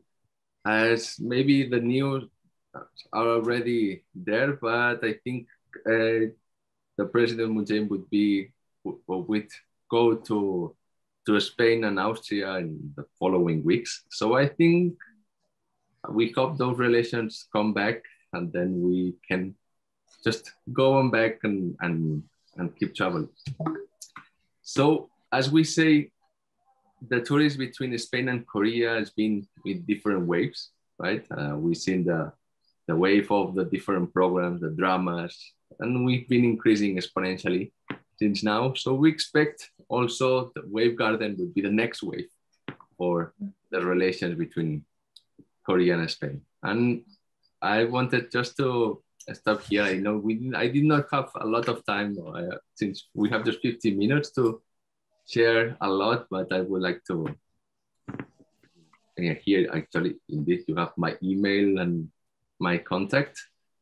Indeed, I'm now more in the in the tech side, right? Uh, since KAIST mm-hmm. is a technology university, and also in the management side with uh, with Solbridge Business School. So I'm very open to, I mean, for all of you, if you want to have any question or everything you want to say. Thank you very much. Okay. Thank you, Mr. Royo, for your interesting presentation. And it was great to see the old pictures back to 2018. Mr. Royo has helped a lot for the successful launch of the Wave Park project because he was working as a Secretary General in the mm. Spanish Chamber of Commerce. And not because of the, we are bringing this Spanish technology to Korea with Wavegarden, but also Spain and Korea has celebrated 70 years of diplomatic relations last year. But because of this pandemic, the Black, Black Swan event, we had to like close down a bit and tourism went down. Mm. And now we're, I think, recovering from the, uh, with the vaccinations.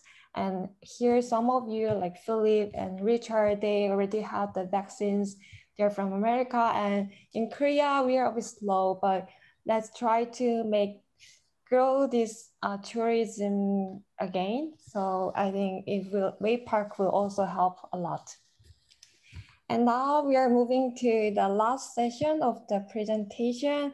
Uh, uh, this, our, our co-chair of the International Theme and Amusement Park Confer uh, Society, Mr. Uh, Professor Kwon Man-woo. He will present us with the theme park study as individual academic field, interdisciplinary and convergent characters. Please welcome Professor Kwon.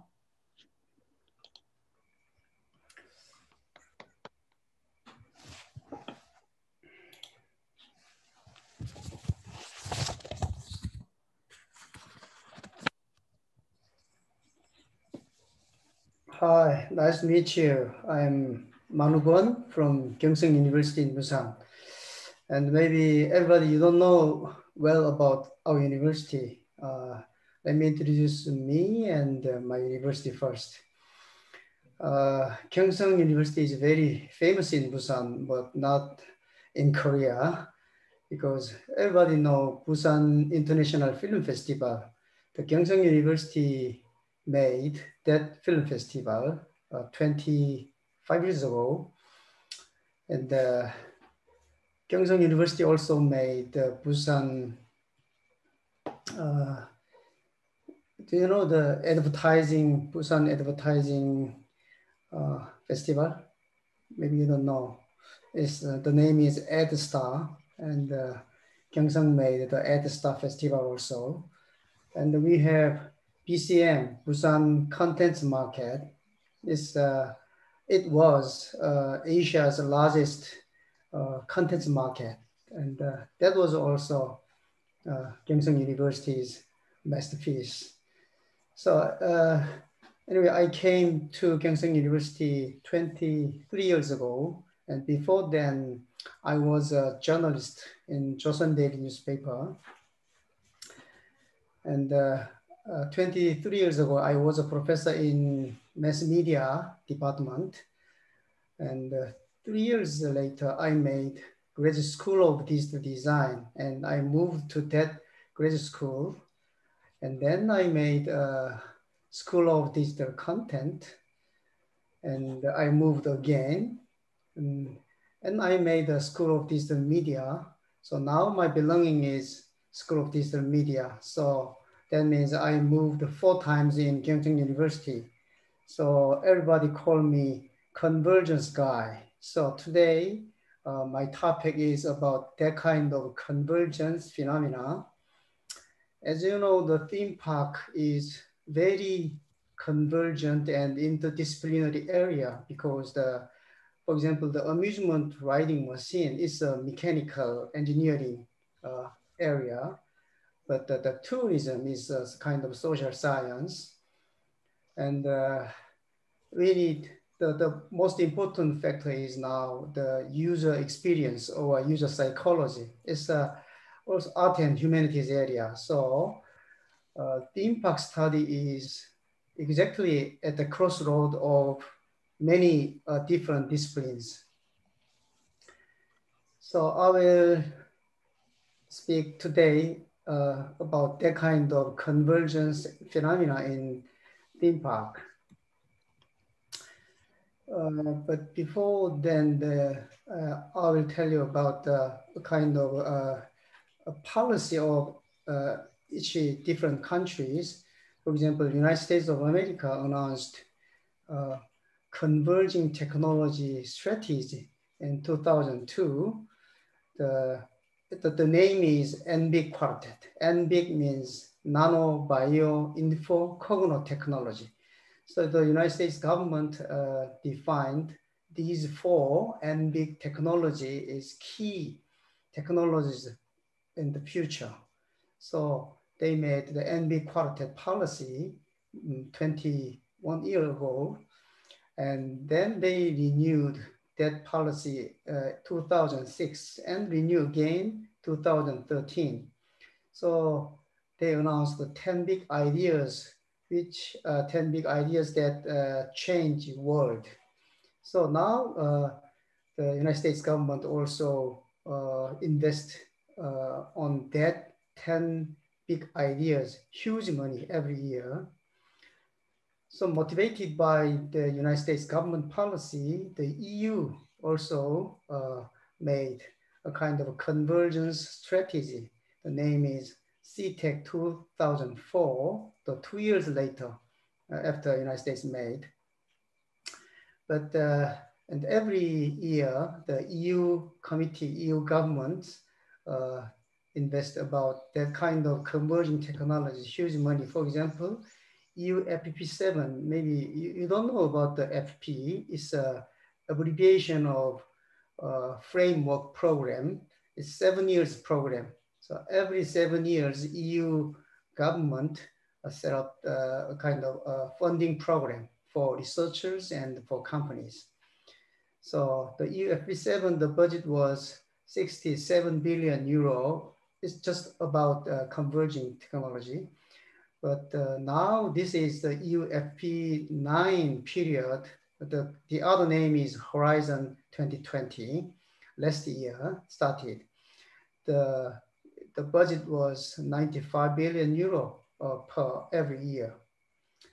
So anyway, in contrast to the US government policy, the EU approach is different because the United States government uh, strongly focus on techno kind of technology focused, but the EU approach is uh, focused on uh, convergence of technology with uh, social and humanities field. For example, the and not just limited to NB, the EU focused on nano bio plus, social, anthro, philo, geo, eco, urbo, urbo, macro, micro, nano. It's a kind of circulation. It's a different policy. So EU is more human-centered policy.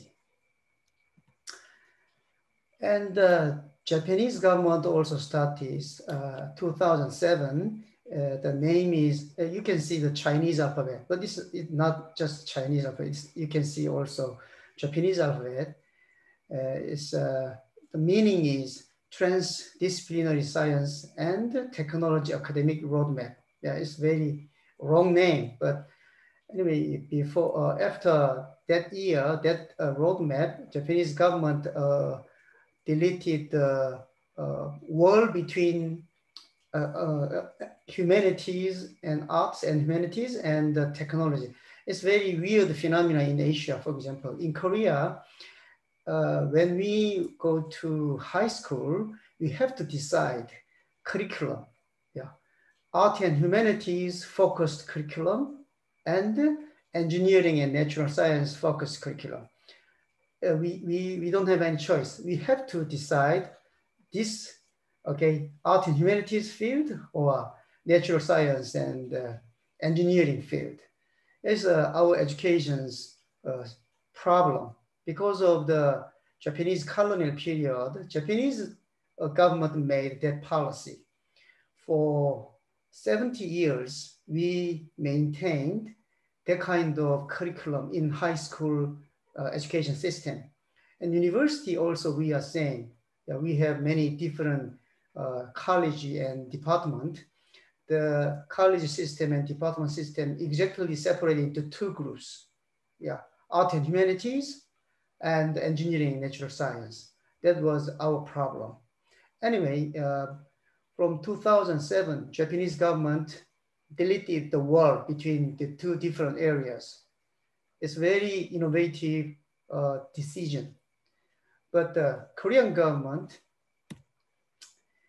uh, anyway, the, the, the policy name is, you can see four different alphabet. It's Japanese and Chinese and Korean alphabet. So the pronunciation is Munli Yunghap. The first alphabet, Mun means humanities or arts. The second alphabet, Li means natural science or engineering. The, the other two alphabets, Yunghap, is it means convergence or fusion. So Japanese government decided to delete that kind of wall or block. So it's a Yunghap policy. But our government adopted that kind of policy just last year. Yeah, just last year, uh, our government decided to abolish that okay, wall. So Korean government started uh, convergence technology policy, uh, made the kind of roadmap in 2009. Yeah, it's first, uh, it's five years plan. Uh, this year is a third stage of the, the convergence policy. Anyway, because of this kind of uh, uh, international trend, now we can see many uh, convergence academy uh, or convergence uh, structure or uh, academic structure in university system. For example, I'm I moved four times. It's it's it, it's impossible. Yeah, who can who want to move? Yeah, here and there. For example, I was a social science department, uh, mass media, and then I made the engineering uh, digital design. It's an engineering background. And, and then I moved, now current my belonging is art. Yeah, art college. It's very uh, strange thing, but uh, I enjoyed, yeah, I enjoyed that moving. So uh, I think theme park is similar.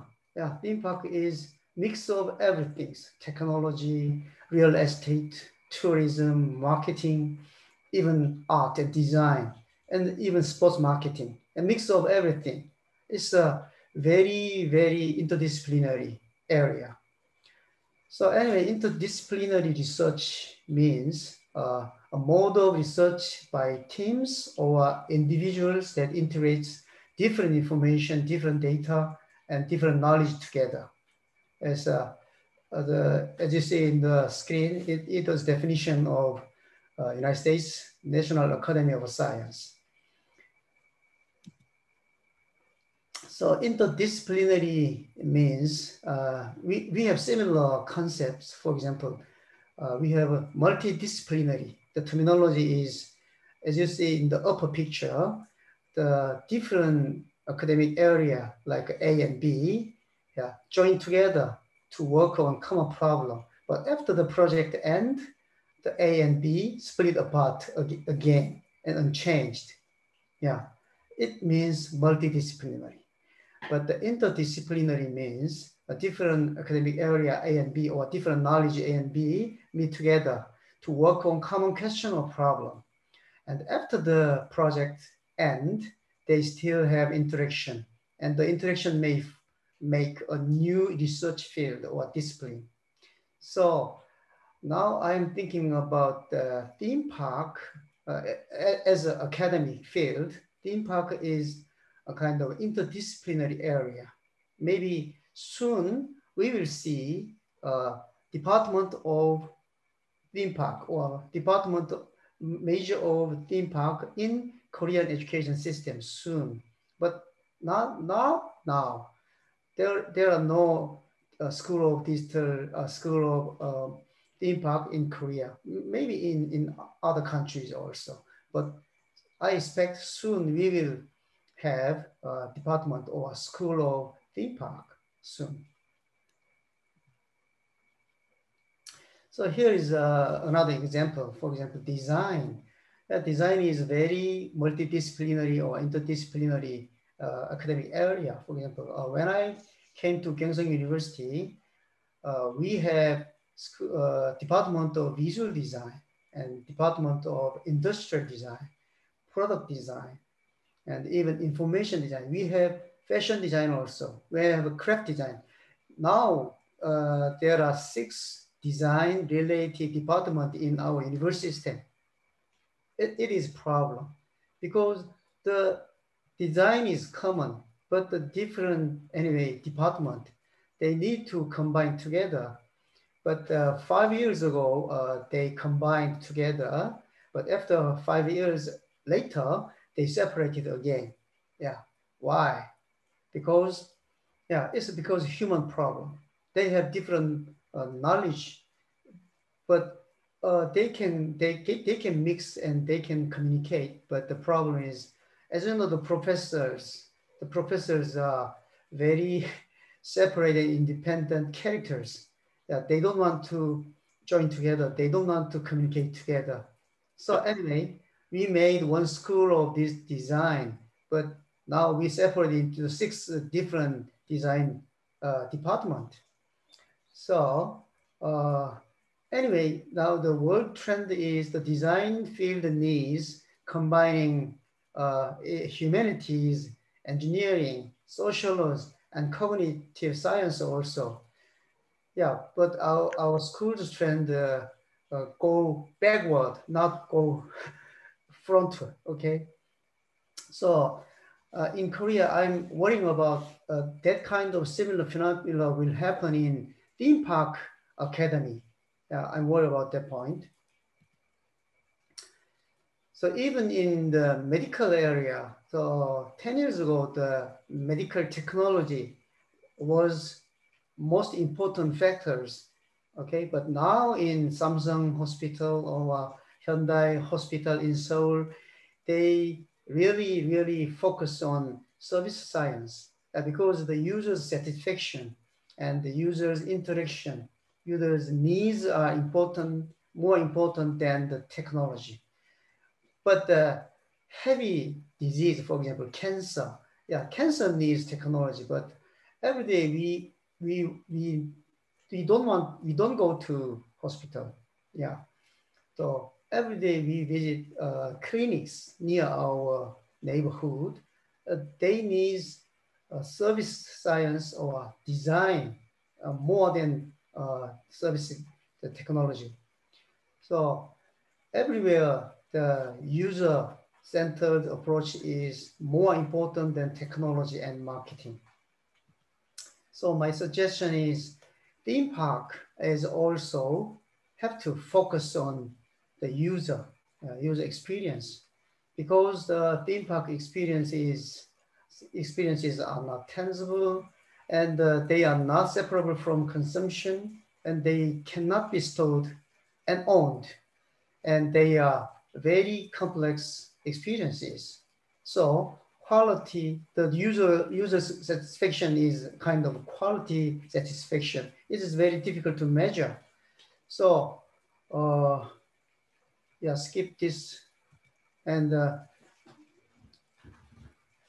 my, uh, my mention is uh, about uh, focus on uh, not just not focus, do not focus on technology itself. For example, the world trend, yeah, uh, for example, Japan and uh, China, even Korea, we have very super high tech uh, ride machines, for example, and Lotte department store in Seoul, Lotte World, you can encounter many interesting machines equipped with VR, virtual reality, and the mobile media.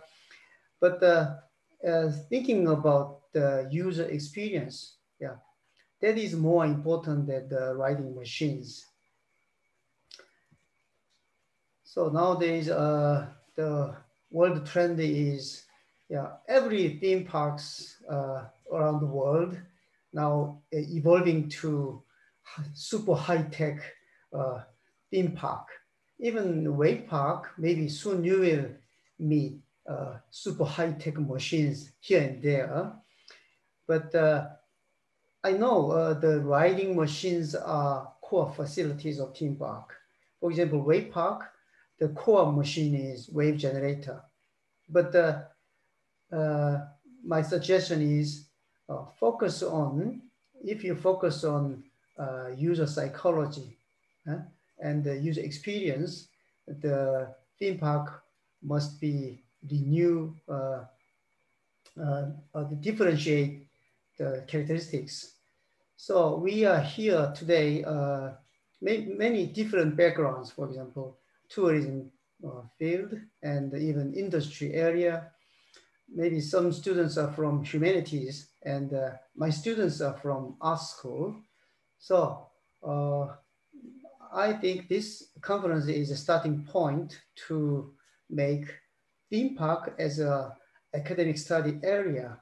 Yeah, this is very small beginning point, but I, I expect next year or three years later, we will have uh, more guests and more business side guests.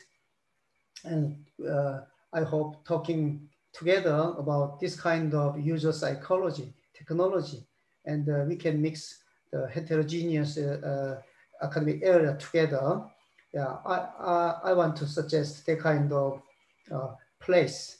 Yeah, this conference will be that kind of place. Thank you.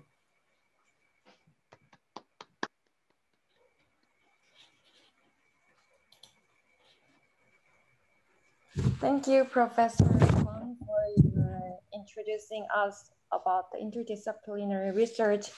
And I think his, uh, his presentation meets the aim of this conference, which is to bring the practical knowledge and academic insight. And also, as he has mentioned, we hope to see the development and expanding of the theme park division as an academic field. And also he has mentioned that we have, we all are joining from all different fields. And I would like to mention uh, Mr. Rohan Bogani from joining us. He's the CEO of the Storybox. And also we have Sebast Mr. Sebastian Lettinger, CEO of the Inari company. So we are, uh, we are all from different fields, but we can share the insight together. And now we are moving to the discussion panels. Uh, we have uh, three people joining us for the discussion. Let me briefly explain to you. We have Philip, Mr. Philip Cuddy, the honorary advisor of Wave Park, and he, was the keynote speaker in the beginning. And we also have Ms. Stellar Kim from William Angliss Institute in Australia. And also we have Max from Novosis. Uh, could you pronounce your the name of the yes, city is, is Novosibirsk. Uh, it's a Yeah. very middle of Russia, and it's uh, famously hard to pronounce. Sorry. Yes, yes, thank you. thank you. So we have three discussion panels and please, uh, please share. Uh, okay, Miss Stellar eh, has already left because of her time and we have two discussion panels. So please send us your questions. You can type in in the, in the chat room or you can just speak up. We will answer them. And Max and Philly, could you start your discussion first? Uh, yes, well, I have a question uh, that was um, somehow touched by some of the speakers. Uh, what do you think uh, would be the prospects of joining the uh, water wave park or theme park technology with uh, augmented reality? Because in a way, I think that uh, such a park is already a simulation. So it simulates um, the natural environment. So do you see any additional prospects in development together with a more uh, kind of simulation of reality or augmented reality technology? So what would you share on this point? Thank you. Uh, Philip, would you like to answer? Well, you know, it, it's it's uh, odd for me because I've been surfing for so long, you know, for 52 years, and I know that the technology is the uh, the change of the future. So, you know, with virtual reality and all these other things, yeah, there's definitely going to be some kind of extension of augmented reality. Um, I, and I think like, you know, surfers who grow up inland that don't come out to the ocean, that grow up where there's a wave park and that's all that they know or that's how they start their surfing uh, life, are going to be different um, than people like me, you know, or people that are from Hawaii or people that are, you know, somewhere where there's, you know, a different level of surf but I'm 100%, 150% behind Wave Park technology and what it can do and um, the different advantages that it offers. So, uh, you know, for me, I'm, I'm, you know, uh, and being part of the first uh, Wave machines, you know, to watch what Wavegarden has done is just extraordinary. So I, I think it's going to, you know, uh, grow into a more uh, specific part of surfing culture and recreation.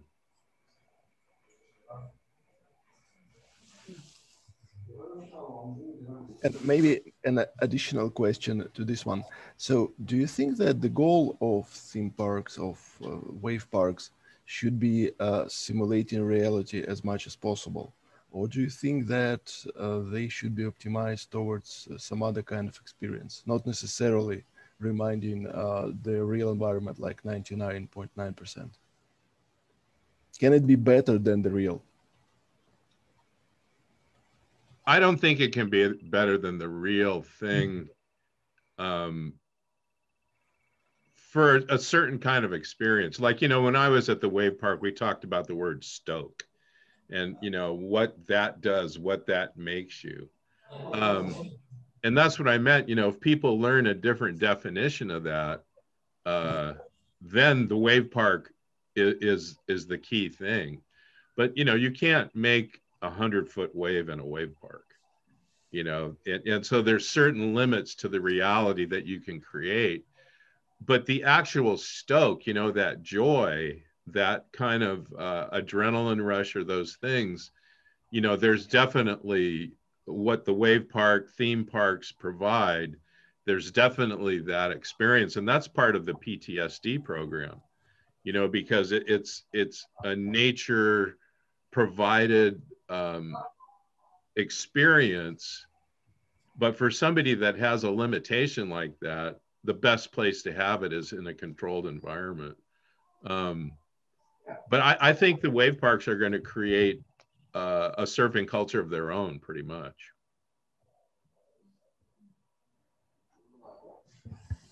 yeah, thank you very much. I think I mostly agree with that. It's hard to make it better than the real, but we might. Well, you know, one thing like for me, like you know, when when I'm looking at the surfing, I'm looking to New Zealand from Malibu, you know, and I'm only looking at a certain time of year, and those waves come a thousand miles, and you know the whole uh, anticipation, the the checking, you know, for something that comes from Mother Nature that you don't have control of. I think that's where it kind of separates, or or you know, when you get to the big size and those kinds of things. But uh, you know, like I said, I I back, you know, for the Olympics for uh, therapy or just for making people happy, the wave parks and theme parks, you know, have definitely, you know, a, a big place in the future. Yeah, thank you very much. Uh, Philip, uh, thank you for thank you for the question, Max and Philip. Philip, I have one question about this surf park. As Max has mentioned, the reality of being this surf pool, but how about the sustainability of the wave park or surf park? Because we before the surf park comes to the industry, there were water parks like ProSlide or Whitewater has been the major industry players. And I heard that they are also making some waves for surfing. So they might come into this surf park sector. So what do you think about the future of the surf pool or surf park technologies in this area? Um, you mean as far as the advancing it? Um, yes. Well, I actually, you know, for the wave parks that I've been to and seen, um, or if you compare yours to Kelly Slater's, I mean, you know, when you talk about the customer experience, you know, waiting all, you know, a long time for that next wave is is not a satisfactory customer experience. You know, so at the wave park, if you have 56 different kind of modules, you have the area where the waves are breaking for the advanced surfers, and then you have the bay area inside. You know, the Siheung Wave Park has done a really good job at taking Wavegarden technology and adding things to it to make it a better consumer experience. Um, but it, you know, it, it, I hate to say that it's going to become like golf courses. You know, mm-hmm. it, it's, it's, it's, um, you know, there's golf courses everywhere, you know, and you become a geographical uh, bound um, destination. But then, um, then it's your marketing and your business. You know, it's like with the business that Skip and Cate, I think, you know, when, when they talk about their package deals, but uh, I think they're they're developing places in Hawaii is going to be different than developing places in Korea. You know, so I think you just have to be competitive with your marketing, you know, and and um, you know, like in Korea, if you open up another wave park in Busan, I don't think you're going to hurt your market in Siheung. You know, because you have different areas, and um, the thing I'm interested in, with like what Soojung is studying, is you know that local group of Siheung community people that come to the surf park. You know, that's going to be a telling. Uh, development for the future of wave parks. You know, how do you uh, capture your local community? You know, because in surfing in natural places like, you know, Santa Cruz and Huntington Beach fight over the title of Surf City. You know, so you're going to have this, you know, different wave parks, different areas, different companies. And I think eventually you'll have competition between the people that like American Wave, between the people that like Wavegarden, you know, because that's what I did for most of my life in surfing was competition and, you know,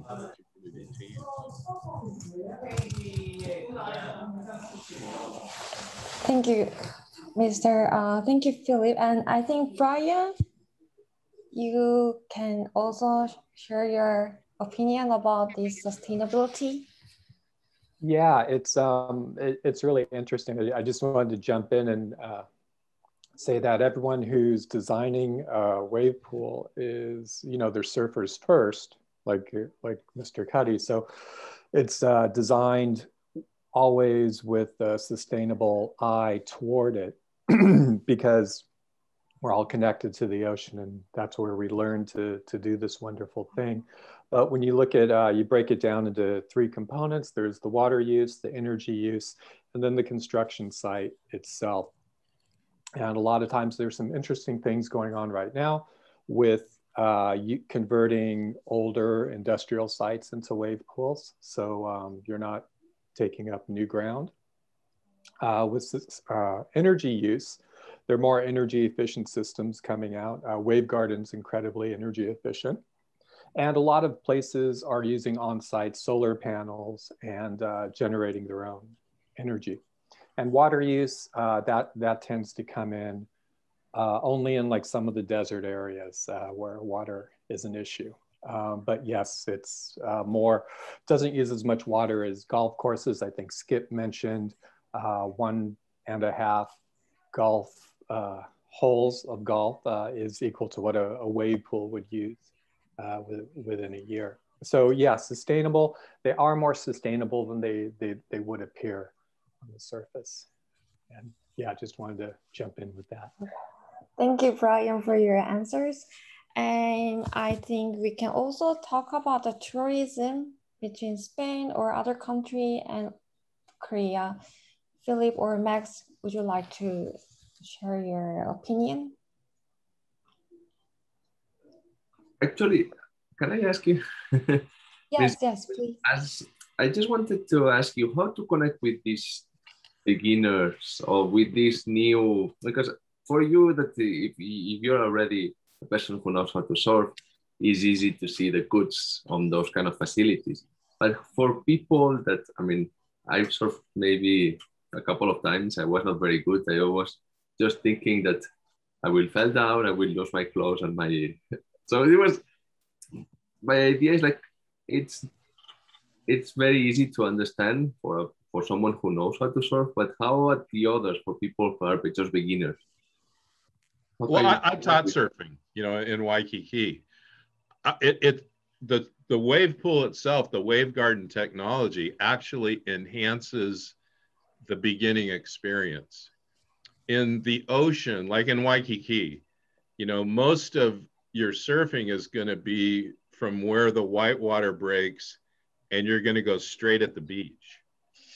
The one thing that happens at the Wavegarden is because of the consistency of the wave, how they have it controlled small on the inside, a person who begins at the wave park is going to learn how to go across the wave quicker than somebody who learns in the ocean.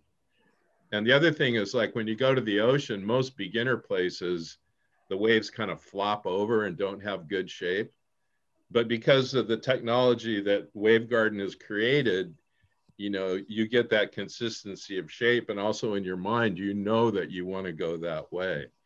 But it's marketing. Like like my idea for marketing for Siheung, you know, there's the the top wave surfers, but go get somebody from a TV show that everybody watches that every and and bring that person to the wave park to introduce all the beginners you know so so they're not inhibited. But that's the one good thing about the wave cove you know the way they have the waves breaking outside and then the way they reform in the bay you know you, you know people stay out of each other's way you know and so it's it's a safer experience. So um, the wave park has a bigger advantage for teaching beginners than the ocean does. And may I ask a question to Roger about the tourism? Roger, when I saw the numbers uh, that you shown about the number of tourists traveling to Korea and to Spain, I wondered, uh, well, I mean, it's well known that uh, much more tourists visit Spain every year, but what would be the share of each country in each other's tourism? I mean, to compare these two numbers, it would be nice to know uh, what is the share, like how important are the tourists uh, from Korea for Spain and vice versa? What do you think? Do you have any numbers like that? And indeed, actually, for at that time, actually, when it it grew that that much, you, I mean, every single person you you you meet here, they had a plan to go, or they already went to Spain. So I mean, in terms of let's say tourist share, here in Korea, I think uh, Spain had a very big percentage of that. For like for the for the opposite, for for Spanish people coming to Spain, I from to Korea, I can say that's not or was not that famous at all. I think maybe maybe there was this cultural gap that now we are trying to jump, and I think the things will improve, but still, and I think maybe that can connect with with uh, the idea of of, of Philip that having a program, having a drama, having something that highlight this place, bringing normal people. At that time were just like they call it the four Joshis that they went to Spain. They just show up how how they enjoy the the everything, the experience, right? And I think that really improved the visibility of the country and how people okay if they do it, if they, it's not that far. It seems a lot of fun, and I think that would be a good point to improve for the Wavegarden experience or for Oh, but in terms of numbers, I don't have the numbers. Just think that would be the, the answer. Okay, yeah, sorry. Uh, actually, may add to that. Uh, probably that's a question for everyone. I'm not uh, an expert in tourism, but as far as I understand, there is uh, such a, a parameter that kind of characterizes uh, each country and each tourist experience as revisitability. So if you've been there once, would you go there another time? Do you expect uh, a different experience at the same place? So what would you say uh, about uh, a theme park, a wave park like that? I mean, is it better in that parameter than a traditional tourist destinations, tourist experience? Is it worse? Or maybe some additional work has to be done so that people want to go again and uh, kind of revisit, but expecting something different because I think that's important. Because otherwise, as you say, after all people from Korea visit Spain once, they just don't go there very often again. What do you think, uh, everyone? Just um, in my experience, this is also a very good question. Indeed, uh, it's true. The first thing that people go to when they visit Spain is to visit Barcelona and Madrid. And that would be the first thing. And I think um, the country itself and all these tourist agencies and they have to be very creative and highlighting not just there is not just the city, there is not just Gaudi, but different experiences. And I think that will be working with all the tourist areas, with all these facilities. For example, we have Universal Portaventura, or we have Salou, and we have different places that people just go there without visiting Barcelona. So that would be the good a good idea to highlight. You have also those places, and I think this is good to work on. Yeah, can I add some additional comment? Yeah, I agree with you, Roger, and yeah, absolutely, the revisiting is very important. And in my opinion, I think the city, how can I say, like uh, Spain, if someone visits Spain, Barcelona, they prefer visit another city. So in Korea as well, if people, most of visitors will firstly visit Seoul, but they might need to, we need to promote other cities to them. So they might want to visit Siheung or Busan in next time. So promoting and marketing each city, small city will be important to make higher revisit, revisit higher revisit. You know, I have uh, a, a, lot of ideas about the tourism. Um, you know, like for people from Spain, there's a surfing place called Mundaka, and it, it's really good. Let's say there's a group of surfers that are top surfers that want to go to Indonesia. And let's say they want to come and they know the wave park is in Siheung. Any surfer that knows that they're guaranteed to get waves mm. is going to want to go to that destination.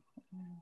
Now, one of the ideas I had is if people would do a survey of the flights at the airport that were going to other surf destinations, they could offer, you know, a layover. People that are on layovers could go to Siheung Wave Park, surf for a couple hours, eat, get a shower, and then go back on the plane.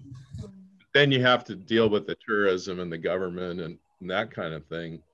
Um, then there's also, you know, destination surfing tourism where a surfing family could come to Korea for a week. And let's say they know they would surf at Siheung Wave Park for three days. Then they could go to Yangyang, they could go to Haeundae, they could go the rest of the country and know that they're going to surf and they might get other surf. So I think the COVID or the black swan really put a, a, a obstacle in the way of how the wave park could develop and I think right now, from you know, b- being an honorary advisor and knowing surf industry, I think it's it's just a matter of time before this black cloud, black swan goes away. Because you know, first time I went to Korea was 1973. I lived in Korea for two years. A few years ago, when I found out that Korea was the top 10, Seoul was the top 10 destinations for European travelers, I was shocked. But you know, there's a whole there's a whole I think there's a whole group of people around the world that are waiting to experience Korea more. And then what America did through Donald Trump, through North Korea, you know, to the way people saw Korea outside of the the peninsula, I think that hurt too. So I think there's a lot of things, but I think it's good that you know, like Su Soojung and and and Professor um, part are, are studying tourism, you know, studying the effects because, um, you know, I have a lot of friends here that want to come to surf the wave park.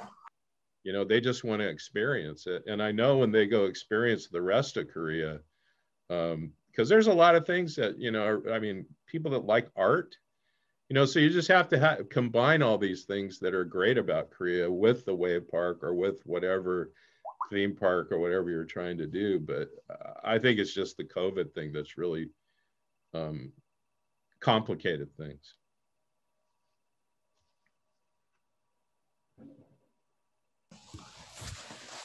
Okay, thank you. And I think we don't, uh, do we have another questions for the panel or speakers? Please ask your last question. And if you have questions, uh, I think we can wrap up here. Uh, and if you have questions we didn't get to today, please share your questions through email.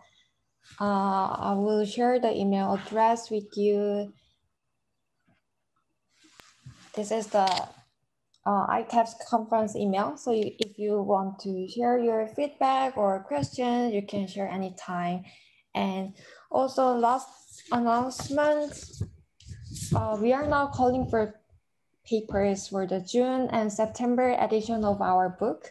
So please go to our website and uh, and if you have any papers to share, please share with us. And lastly, we would like to announce the, the best presentation of today. Our organizing committee has voted for the best and then we have, we would like to award Mr. Roger Royo for your presentation. So uh, we will provide you the gift of Wave Park surfing ticket. Yes, for I think you have mentioned that you are the beginners, so we'll give you the beginner sessions. I don't also, deserve it, but thank you. thank you very much. And also, we, we don't have much people left at the end of the conference. So, but we still want to share this gift from Wave Park. And because of COVID, I think some of you are staying in America or Russia, so we'll choose some Koreans. okay, so, so we have. This is totally reasonable. but next time we will make sure that if you visit Korea, we'll of course invite you to Wave Park. uh, we have um, Yu Dongol-nim, yes, uh, and our speaker, uh, Professor Soojung Kim, and Hwang Mi-kyung-nim will give you the Wave Park uh, entrance and surfing surfing uh, tickets. And also, yes, I think that's it for our conference, the second of second annual conference of ITAPS. And thank you for joining today. You, uh, some of you are staying in America, so you're staying up very late. It's two o'clock in the, in, in the morning. And thank you for joining and staying until the last session of conference. Thank you. Thank you. See you later. Bye. Bye. Bye, everyone. It was a pleasure.